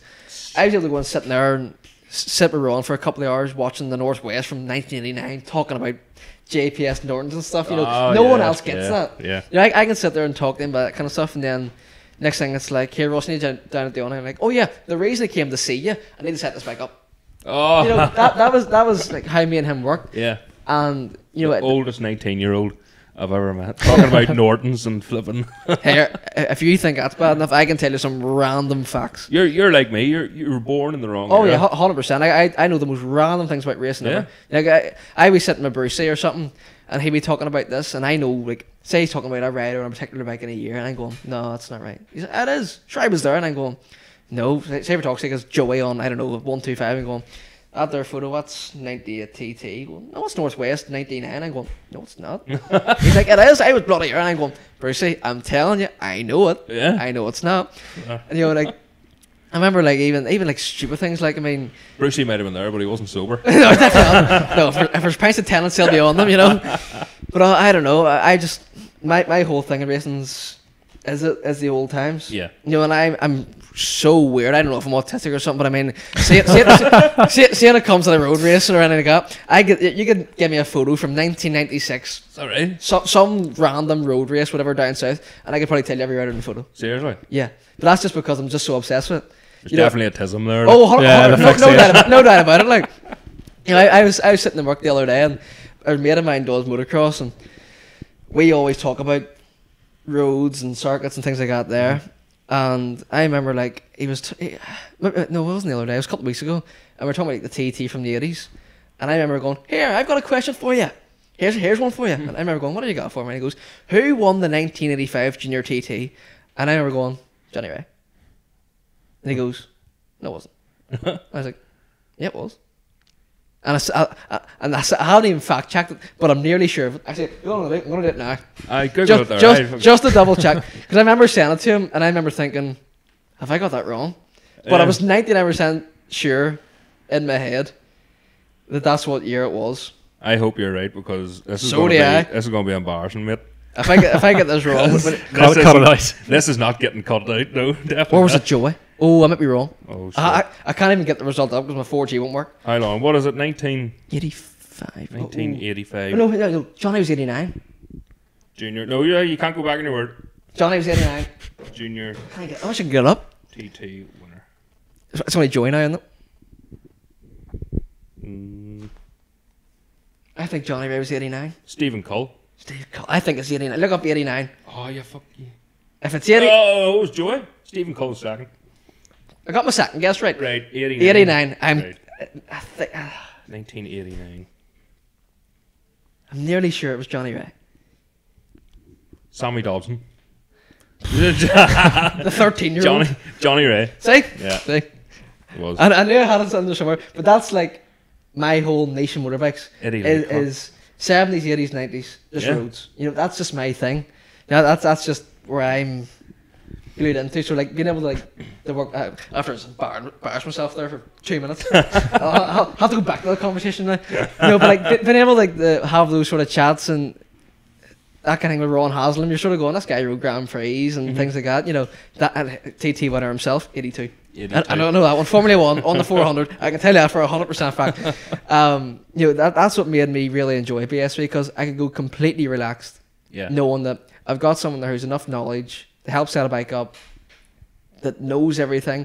Started to know me as a rider, as in my style, how how I corner, how I brake, how I build up the lap time, these sort of things. And he he knew inside out, like, Mhm. and that's what really brought me on. And like, don't get me wrong, we had big downfalls during the year. You know, we had our motorhome stolen. You know, You had your motor, your motorhome, or it was Brucey's. Well, it was we called it ours, but I mean it was Brucey's yeah, motorhome. really? We flew into Birmingham Airport, That sounds like an insurance job to me. Uh, trying to get, to a, bit of coin. Third party tires there. we um flew into Birmingham, pick up the motorhome. Let's go to Snetterton. Got to where it was parked. It was gone. Jeez, Stolen. Christ. And I can remember going like, "Are we gonna race this weekend?" And Bruce was like, "Oh no, we're, we're still going to race. We're still going to race." And I was going, "After this was stolen." like, yeah, we're, we're here now. And from that point on, like, I mean, my dad had had an inventory of tools built up since I was a kid, only starting out, up until this point. Next thing, it was all gone. Jeez. Didn't even have as much as a pit board.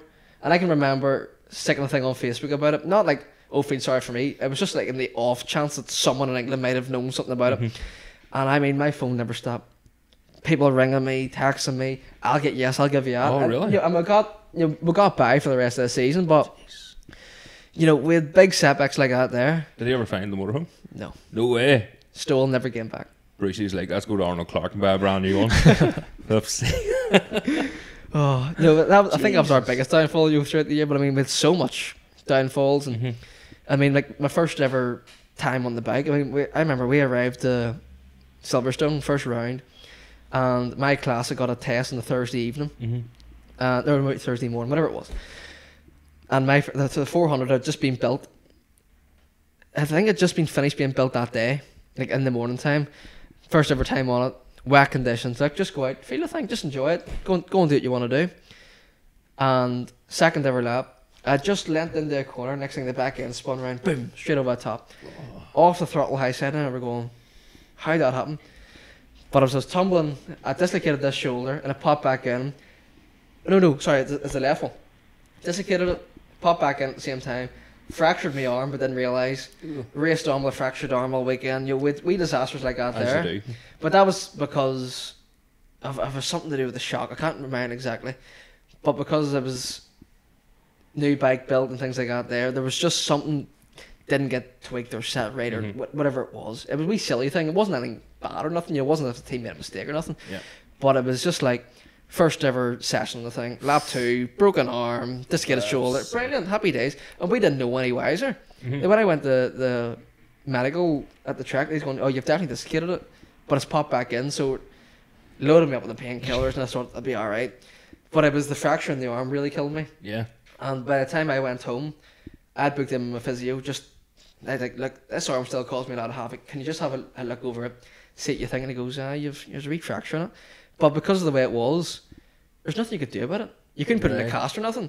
So I just had to just sort of just let Be, it go. be careful with it. Yeah, and, and it- still gives me jip now. Like I mean, if I like even playing like a game of pool where you stretch the arm out, Oh, I, I'll be sitting there playing a game of pool next to me, like shooting pain goes through it, you know. So it's it, you know the, the effects are still lasting on me, but I mean like other than a few setbacks, last year I had a, had a great year in, Yeah. in my own terms, and more how I developed my own riding and my ability to understand motorbike hmm you know, and that was what really kept me going. As in, you know, I can come in and say that bike's so much better. It's, you know, it's doing this, it's doing that. But I can. It got to the point where I started to know the bike that, that well.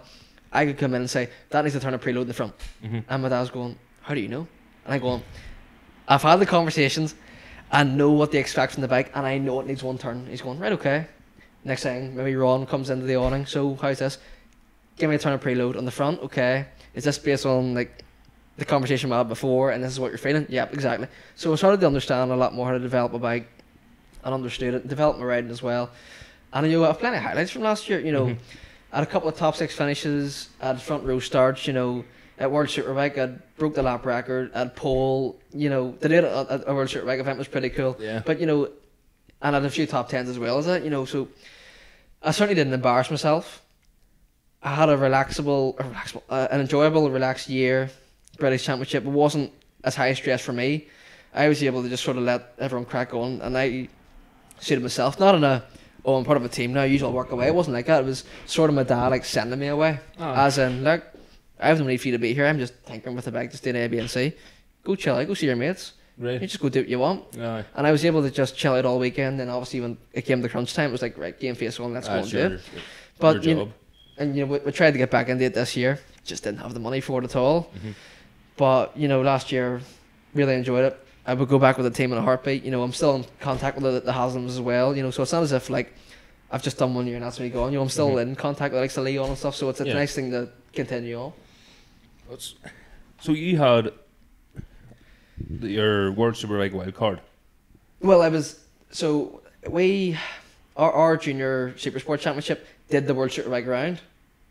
So Yes. we, so it was the same. But we we had done Yeah, they miss an- they miss another round somewhere, don't they? the junior super sport. Yeah. Yeah, we don't do it. They, they do eight out of twelve rounds. Yeah, that's right. I, I think that's the same in most classes, bar maybe like super sport or something. hmm Maybe super stock, maybe ten or something. The only thing that does the full championship is actually just the superbikes. Yeah. Stock miss one, don't they? They- yeah, yeah, yeah, yeah, do. But like we, we had um we had MotoGP, like we had done the British Grand Prix and the Moto three and stuff. It was cool as well. Jeez. But the World Superbike one was cool because you did have wild cards coming in. Mhm. Um, but I mean, like, it was just, it was still a, in my own head, it was still a BSB event. Mhm. Only difference being you had Toprak and Johnny Rea walking past you. everything felt the same, everything looked the same, you know. And we were in the same paddock as them. Where in MotoGP we, we were secluded, so you knew you're at MotoGP. At World Superbike, I was just walking in the paddock, and you know there goes Bulligan, there goes him, there goes him, and you're just like nodding the head, and just walking along as if there's nobody else. As if they're yeah. Yeah, you know, the, the only big difference I sort of noticed was just the crowds. You know, just going down Craner curves and like, because you're like looking ahead, you can see all the crowds up on the big wall, or the wall on the big grass bank, and everyone. There's a lot of people here, but you know, it, it, it, it was good, you know. But I never treated any differently. Where I think some people did, because of just what kind of event we were at. Yeah. And maybe I got them, I don't know. But for me, it was just another race, you know. Did you tell anyone you were here? No. I think they're after you. I, Ross. I was I was told I was being arrested at some point. So Brilliant. hopefully, don't check my phone or something. So, what made you? You were doing. You were so successful last year, and what made the change this season to go literally go all out? um, from what 40, 40 brake horsepower, Uh, 50. 50. fifty brake That's the horsepower 50. to 200. two hundred and twenty, something like that. 200 on the dot. That's- 200. That's what the wee Susie is, yeah. Oh, Um, so at the end of the season, so I had three sponsors. So I had Brucey, Trevor Armstrong, and the Essence Vault. They were the ones who got me into the team. Mhm. So they're the one who paid the fee, got me in. Unfortunately, Trevor died, yeah. and the Essence Vault guy was very nice fella. Only had him the one time, but he wa- he's not a motorbike person. hmm But he was going like, I'll do it for the year.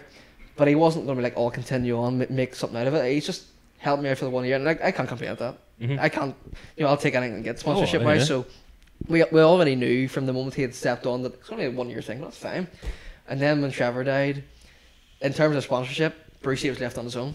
Right. So and at this point, we had the Yamaha, we done BSB. You know, you know, you can't ask much more for any anybody. You know, never mind.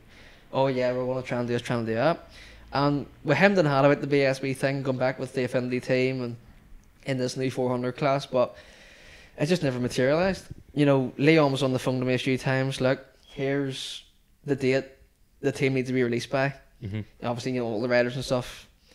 Keep me posted if you can, if you can't. And I remember having the having to ring him, just saying, "Look, sorry, but we're out." Nothing. Nothing you can do. And, then- and the, the disappointing thing was that the team had asked for me back. hmm You know, it wasn't just like, "Oh, you're coming back?" Okay. You know, Leon and Ron were like, "No, we want you back. They we wanted want, you we back. Want, we want Yeah. you here." Where there's probably other riders in the team that sort of go, um, "We can take it or leave it." Aye. Where I was just like, they're asking, and both of them asked me in person and on over the phone, like, we want you here, and I'm going, I wish I would, I would give anything, but it never, it never worked out. And I I remember like sort of going, what, what do you do now? You know, junior super sports the cheapest class, so we can't get back across the water.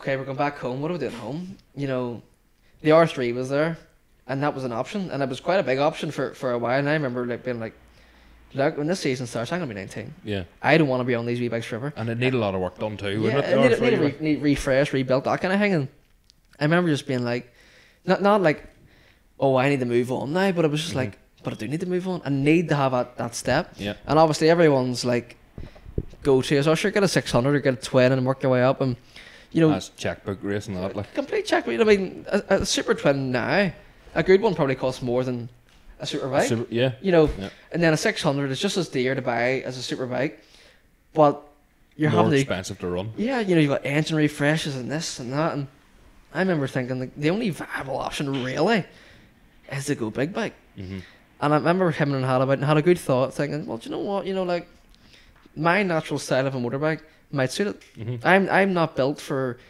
riding the life out of a bike like you would a 600 hmm or like a super twin. I, I like using the power of a motorbike. Yeah. And on the wheel bikes, you don't have the power to use. Mhm. So you've got to adapt. I had to adapt my style to learn how to ride the life out of these things. Where the big bike, you twist it and the power take. You know, the bike has enough power on its own to do its own thing. Yeah. And for a few weeks, it was sort of like, "You really big bike, and I was like, yeah, I know, I want to do it. And my my dad didn't really fancy it. He's like, I, I've read these things. You, you don't know what you're in for. Yeah. But we got a deal over our line for um Suzuki. And my dad had like a wee soft spot for Suzuki's because the first ever big bike he rode was one. Yeah. So he knew that, like, okay, as a chassis, fantastic. As an engine, uh, they're an animal. Yeah. But he read them way over 20 years ago. But he's did, he, going, did he ride for Raymond Lilly? I have no Suzuki? idea. I don't know. I think he had bought his Suzuki. I don't think he rode it for anybody. Right. Yeah. I, I wouldn't. I've never even heard of him, to be honest. Nah. Um, so he knew like the chassis are good, and if the chassis are still the same way they are now, obviously as times move on, bikes become a bit more rideable and you like, sort of user friendly, right? That's what we'll go for, and that's what we got. Yeah.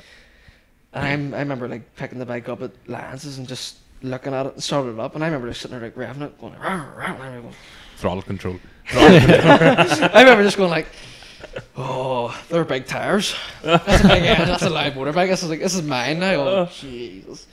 But you know, we went to Spain, and I'd worked it out like in my head what they expect. Mhm. So it never took me by surprise. I No. my, my, my first ever session coming in, like uh, the speedo was on the bike, and I was working. I don't know why the speedo was on, but I can remember my third ever lap doing 175 in the back straight and going like, so that's 175 mile an hour. but, uh, but people are going like, oh, just you with this. You're going like, your eyes are going to be like this size, and you're going to be shitting yourself. And Yeah. I remember just sitting at those speeds and going like, this is alright. This isn't bad. Jesus. And I got, you know, and it just chipped away, and it wasn't very fast in Spain and whatnot. But like I remember, like on day three, to my dad, "Yeah, yeah, I'm trying to get the hang of this thing." And he's like, "Oh, how's it feel?" And I'm going, "Yeah, it feels good." So this thing, I don't know how's like the speed and the power. and all feeling. I'm going, "Ah, still, I'm sort of used to it by now." Like, and he's going, "What?" And I'm like, "I was doing 180 and I didn't blink twice." Which is like, that's, that's what it is. And then don't get me wrong, like, but whenever you have a bit of a moment. You, you feel every you feel every mile an Oh, hour, yeah, yeah. but whenever things are going right, you're sitting at those speeds. It's just like it's just another motorbike. I reckon your dad was popping diazepams flat out in Oh, I- the same I- I- bottle. Like, I, I, I would say he's probably took a few lines of coke as well when he's had it. You know what I mean? It's well, I'll say super bike. It's a super stock, completely stock bike, and a lot of people seem to forget that. Like, Mhm. you know, I am right. I'm not gonna write myself off or talk about anyone else, but I am riding against some very good machinery. Oh yeah. You know, the Suzuki's good bike, completely stock. It's got an exhaust, suspension. You know, it's still got you know standard brake. Okay, it's got a master cylinder, but everything else is bog standard on it. So But the Suzuki's good. but it's a good that bike. way. But, yeah. but it is it is a good bike. You know, and it's a good standard bike. You know, it's not as if like you need the Like do all the these good chassis, the chassis was always great on them, and Yeah. you know they, they always reminded me.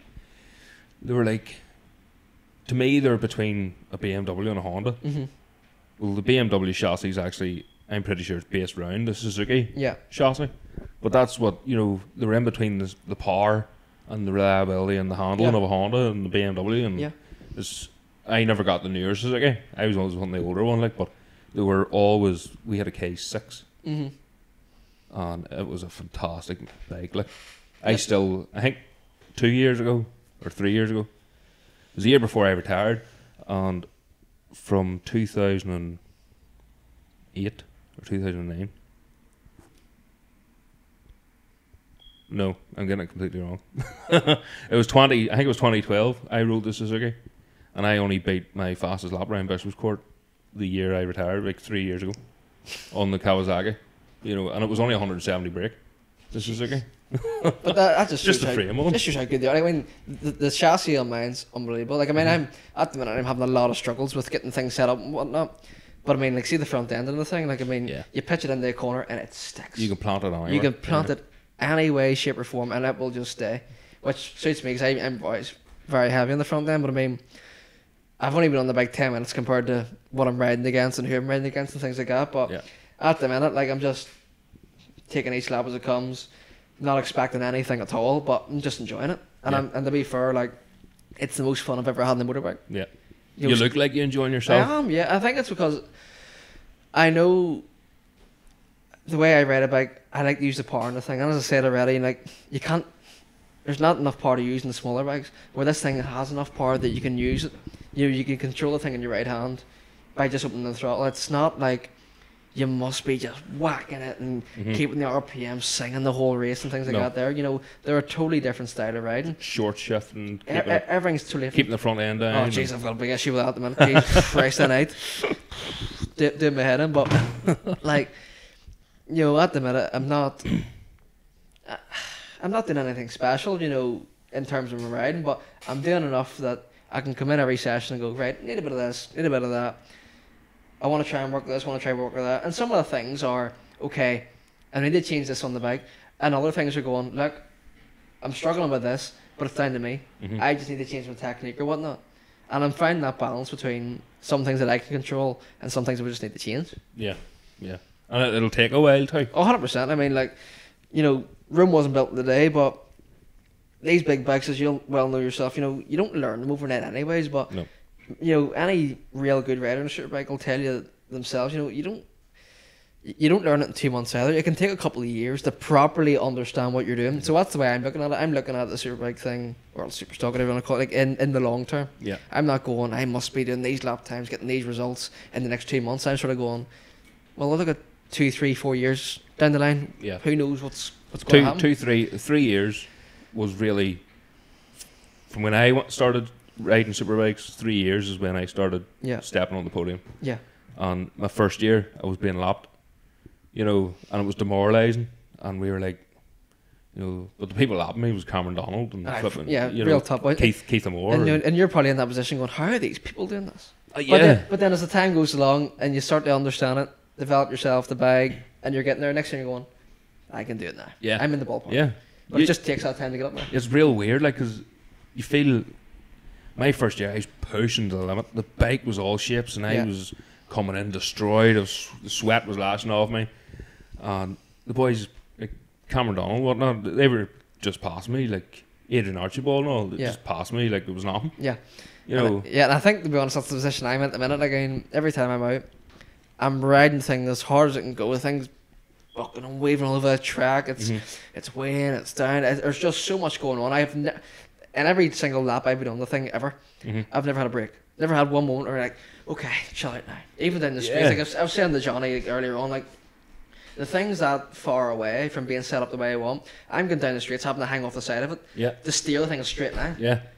You know, You have to pull. You have, people say, "Oh, you get a break down." Even at road racing, yeah. the northwest and stuff, they say, "Oh, you get a break in the university." You do not get a break in the You're trying to keep the thing in line. Yeah. And that's me on a circuit, never mind a road race. And the things, re- and you're pulling yourself forward, Yeah. and oh, it's, yeah, there's so much going on, but I, I know as time goes on, I'll start to develop the technique and the style I need to make the thing go where I want. And silly, Mhm. like going down a straight, like just being able to get tucked in and relax. and being able to relax. Yeah, Yeah, I, I know what will come over time, and that's something I can change. Okay, something can implement that, you know, on the bike, setup wise, you know. At the minute, my big thing is keeping the front wheel down. It just it just keeps coming up. yeah, And obviously, you know yourself, like once it comes up out of a corner, hits the ground, unsettles, and it's everything's just you're just. losing milli- yeah. you know, tenths and hundredths of a second here and there. And, And, and at the minute, like I mean, I'm not chasing lap times. I'm just chasing feeling and understanding. But Mm-hmm. whenever you're in racing mode and, you're, and someone's in front of you, a couple of tenths up the road, if you're losing those tenths because of things wheeling, not because you made a mistake or something, it's demoralising. You're going, Yeah. like, they're just creeping and creeping. and you know what you have to do, but you forget it Yeah. when you're sitting on a donkey that's trying to kill you all the time. Like, Yeah, there, You know? there's just so much going on. Like, but like at the minute, I'm really, really enjoying it. I know that there's a lot to come, and that's not just me just saying that as in oh, because it's a bit cliche. Every rider who's on a new bike, whatever, oh, there's more to come, there's more to come, and sometimes it might never. Mhm. Who's going to say I'll ever improve in this thing now? But I know in my own head, with the way the bike's set up and the way I'm riding it, there's potential for a lot more to come. Yeah. I just need to work it out, feel the thing, and just give it time. And that's my big thing at the minute. Just give it time. Don't rush into it. No. Because I mean, these sort of bikes, you know, one day they're perfect, one day they're not perfect, and that's could be the difference. And, and because they're because of what they are, Mhm. that could be the difference between, you know, being two seconds faster, two seconds slower, which is just crazy on those sort of bikes. Where like on the wee bikes, you can make up time Mhm. just by your riding. With these things, it's just the power and how everything works on them. So, Mhm. you know, I, I know there's there's days ahead I'm going to struggle, and I'm going to struggle massively. Oh, you will. And I, I'm going like, what Sorry, is to, sorry to tell No, you. like, I know, You're, you're fucked, mate. I, I know, I know. There's going to be days going to come, I doing this? yeah, yeah. And then there's other days you're going, ah, yeah. this is why I do this. Yeah. This is why I love it. See when you get your first super superbike podium. Oh, stop it. At the minute, I'm not even thinking that far. At the, at, see, to be honest, at the minute, I'm just worrying about, from a rider's point of view, I want to try and get good results in the pro races. Mhm. You know, at the minute, I'm sort of hovering between sort of sixth and tenth. To Kirkus and there was sort of sixth and seventh, and like at the minute, And that is nothing to be sniffed at. Like, you, you know, for the time I've had in the bike, for the experience I've got on a big bike, because I, Mhm. I went from a 50, c- a fif- 50, 50 horsepower to 200. You know, I've had no time like to develop over those years in terms of like, I went super twin at 100, then I went super Ah, sport at yeah. 140. I just went from zero to right up to here yeah. pretty much. So you know to be running there at the minute, six, sort of six sevens in the pro race, riding with real good riders is, is a big thing for me. Like I mean, the first lap of the first race on Saturday, I completely shit myself because I went in the debtors fifth and I held fifth the whole, the whole first lap. And I'm sitting there like looking looking ahead of me. You had there was uh, there was Ryan Gibson, Johnny Campbell, Corey McGravy, and who's the other one? Off top of my head, I can't remember the other one. I'm looking at them going. Last year, I sat in the sidelines watching you boys fight for Yeah. wins, and now I'm, now I'm with you. Yeah. You know, next thing I went through debtors and Aaron Spence dove underneath me and Dean McMaster came and I was like, okay, here, the real boys are coming to now, you know. But look, you know. Like, come on, boys. Yeah, I'm not on, meant to be here. I'll, I, yeah, I'm, I'm just getting in their way. Go ahead, don't worry about it. But look, at the minute, I'm just trying to toe on to them riders. Mhm. You know, I had a really, really good Easter Monday. and I was battling with uh, it was Kyle Cross and Dave McMaster in the wet race. Yeah. And up until like two or three laps to go, because I made a couple of mistakes, I was right with them. Mhm. Every lap, I was right there. I was right there. I think I was about a second behind them over the line, but I could see them on the sides, and I kept. It was Dean in front of me for most of it, and I was able to catch him through debtors Yeah. and get right up his tail. And then between Colonial and Fisherman's, he would got me again. But then at the end of the lap, back in the debtors, I would catch him again. But I'm sort of going right. These boys are proper pilots, you know. Mhm. They're, they're no slouches. So for me at the minute, just being able to tag on to them for a few corners or a lap or two Yeah. is more than good enough for me. Mhm. You know, whenever him and um, Aaron came past me there on Saturday, I held on to them for maybe two laps before they started to edge, maybe two or three seconds, and next thing you know, they're gone.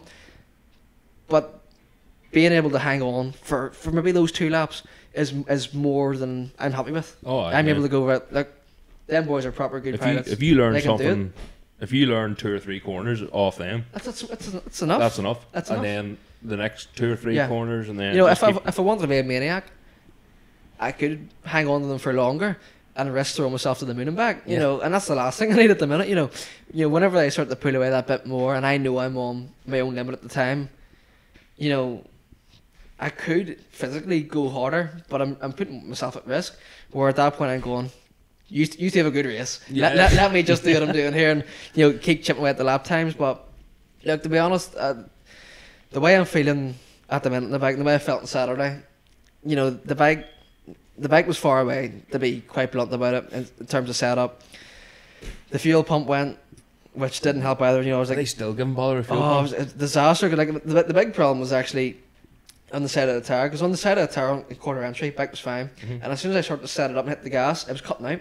Right. So next thing it cuts out, and all the power came back in. So it's like two or three times every lap. It's like riding a two stroke. I was just getting like, this big thing stepping out, trying to spit me over the Yeah. thing. And then next thing we had a bit of air in, in the brake, so the brake was coming in the bar. Oh no. So it, uh, like, I'm going down that back straight, just praying to make it to the corner. I got to the point where I was able to hold the brake at full, like squeezing the brake as much as I could, right to the apex. Jesus I, Christ. you know, you know, I couldn't do any Yeah. more. And I did like a 57 8 or something. I remember going like, uh, I'm not happy with that because I know that if the bike was right, I'm not saying there's crazy time left there, but there's definitely half a second Yeah. alone, you know, in just those two things. Never mind actually getting spring rates right and the setup, ride height, all those sort of things. Once we sort of get it right, I know that if we get those right, there's potential to be You're right a- at the point a, a, a, a second or two right up there. Yeah. It's just a matter of trying to find it, and then if we do find it, it's down to me to do the work. Well, like, what are they doing? High 56s there uh, last weekend? Uh, I think for I think they were doing fifty fives. Is that right? I think they were. I think the one of the best laps I saw was like fifty five four. See, I told you I should know this, and I can't even bloody remember. But I have about I have two screens and all this paperwork in front of Yeah. me telling me what they're doing, and I can't remember. I, I don't know if that was just like one lap pace or that was over the entire race, but Yeah. I, I would have said with them two fight or with them two like the, the group of the people from you know fighting they probably were in fifty sixes because they're slowing each other down and stuff. so yeah. to be within you know that 1.8 1.9 ballpark sort of pushing two seconds Mhm. for my first time at Kirkistown in the dry I'm sort of I'm not I'm not happy with it but I'm content sort Yeah. of going like I'm not a million miles away Yeah. if we get it right there's time to be made but not, let's not let's not rush it Mhm. let's just take our time But the best thing is, you know what you have to do. yeah I, I. I, I know what I've got to do from a rider's point of view I know what I need from the bike Mhm. and it's just a matter of trying to make the two work you know, there's there's days you know yourself the bike's perfect and the rider just none Yeah. and yeah. there was days like Saturday there where I felt pretty good in my riding, but the bike just wasn't doing what I wanted to do. And the, the, more we've analysed it and sort of looked at it, like the bike's so close to being right, but it's so far away at the same time. Mhm. I mean, in some aspects you're going, tell you what, that's not far away. That's sort of in the ballpark. Then there's other aspects you're going, that thing is over this way. Yeah. It's just not playing ball at all. So, you know, if we can get it right, who knows what we can do. But look, I'm not going to count, you know, my eggs before the hatch or anything like that. I'm not going to say, oh, I'm going to win this or I'm not going to win this championship. I'm going to do A, B, and C because I don't think like that anyways. But you know, I'm just going to look at it, take each race by race, and just hope that over the season I can just develop enough that I can finish the end of the season going, yeah, that's all right. Yeah. Just as long as you're happy with it. As long, not as long as I'm necessarily happy, because at the end of the day, every rider has different goals, and every race, if you're a racer, you're going to win. Mhm. That's it. It doesn't matter who you are. You're going to win. That's the way it is. Mhm. You're not going for any other reason, really. And you know, every rider has different goals. To say, you know, some people want to finish in the top six, some people want to finish top ten, some want to win every race. And you know, if you're one of those riders for toxic, you know, I want to finish top ten in- in a championship. Doesn't matter what championship it's to anyone. Mhm. You know, you achieving that top ten is like you win. That's Yeah. your holy grail. You've done what you want. For me, I don't think like that. No. I, I can't. For me, it's just how far I'm away from 1st Mhm. and that's that's the way it is. So, you know, when I'm looking at race results and timesheets and whatnot from like the weekend going by there, I'm looking at seventh in the pro race going sixth place at first. yeah, yeah. You know, and yeah. it's, and it's like, how do I get up there? Mhm. You know, how how do I break into that next that that next group of riders who are run at the front every single week? You know, what what does it take to get there? Mhm. You know, I'm not looking at these boys going, ah, you're just better than me, you're on better bikes, or I'm gonna throw excuses all over the place. I'm not gonna do that. You know, I'm gonna look at it and go, right, well, you know, what's Johnny Campbell or what's Ryan Gibson doing different to me? Yeah. You know, what what in their riding are they doing Experience. that, I- that I can do or implement? You know, that's the way I'm looking at it. So Mhm. like, we've, not, we've plenty of rounds left at the, you know this season, so I know there's gonna be bad days coming. I know there's gonna be good days coming, so I'll just I'll just take it. I'll take it. Yeah, that's Yeah. what I was thinking about motorbike racing. Oh, it? I know. You know it's going to hurt very soon. Oh, I know, I know, I know. Oh, but what's long term plan then? The future. What is the future for Rossi? My dad, in terms of what he wants from me, he wants me back in BSB because he knows if I don't go BSB, I'll end up in roads, Mm-hmm. and he wants me to stay away from roads as long as I possibly can. Well, there's not that many of them. I know, and for me, I'm polar opposite. I'm polar opposite. So Yeah. I know, I I've said to him since I was a baby, you know, and like I said, baby, you know, we're something like six, seven years old when I started getting the motorbikes and racing stuff. like three years ago. you know, roads are my thing. That's that's my thing. That's Yeah. what I want to do, yeah. and it's everything that I love about motorbikes. And I've had so many conversations with him about it, and it's always been no, no, ain't happening, ain't happening. But I'm going down there, like, you know, we had a conversation about it the other week, and I was like, Dad, look, whether you like it or not, I'm old enough to do them now. Ah. And I was like, you know, and the difference is, in a couple of years' time, if they're still about, and I'm floating my own boat, you know, I'm living my own life, like away from home sort of thing, you know, there's gonna be uh, gonna gonna be a day, all being well, that it's gonna happen, whether you like it or not, yeah. whether you're there or whether you're not, it's gonna happen. Jesus Christ! I said that to my dad. Oh, oh hit, no. hit me oh, a dig like You it. know, be dead. you it, it, and, and like I, I, I've probably I've lectured him that many times about it in the past few years. I think he's not not accepting it's going to happen, but he, he's accepting that he knows how keen I am, He's just rolling his eyes and sort of. let you get on with it. yeah, sort of and, and he and he knows that one of these days I'm going to tell him that look, this is it's for real and it's happening. you have an entry in for the Northwest. And I've been I've been me- I've been badgering him all year about getting the Armoy. Yeah. You know, even my dad was in here a while ago getting tattooed, and Johnny was badgering him, Hartley was badgering Yeah. him. You know, let Yeah. him do it, let him do it, let him do it. You Yeah. know, but Armoy was one of my first. Was it? Um, Oh, on a BMW, 200 and she was 230 brake. Like. Jesus. I know. for a first- first one, that's a bit rough. Like, First, well, it was my. I done the Ulster Grand Prix. It was my first race, the fastest road race in the world. Like, just straight in the deep end. and then Armoy never jumped a bike before in my life, and I'm jumping one at 150 mile an hour. Ah, you know, but it, all right. it's soon. It, it was amazing. It's just, it's It just, was amazing. yeah. I think I qualified the back row or something, you know, back of the grid, but loved every minute of it. I was Yeah. just, this, this is it, this is it. You have to do it. Yeah, and I, I know I do, and it's, it's, look, Sammy, leave the boy alone. I know, please, Dad. you know, look, at the end of the day, he knows it's my life ambition, my life ambition to do it. Yeah, And I've said to him before, there's two things in life I want.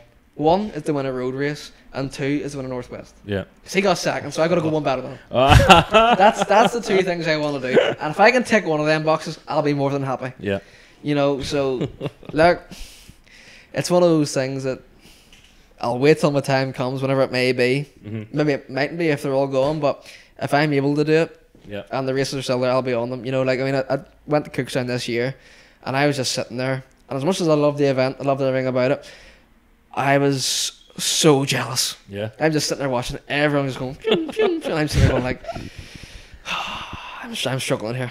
See, I'm, one- I'm struggling to watch this. See, once you do one, you'll you'll not go back to watching a road race. No, No, I I've been to the northwest a few times just to watch. Um, just ended up turning my back Yeah, to it and just having a drink don't- and having, yeah, Yeah. just same with where were we? Cookstown a couple of times. Doesn't do it for me. Yeah, like. just no interest. It's a bit like you racing motocross and have no interest in the sport. No. I very rarely.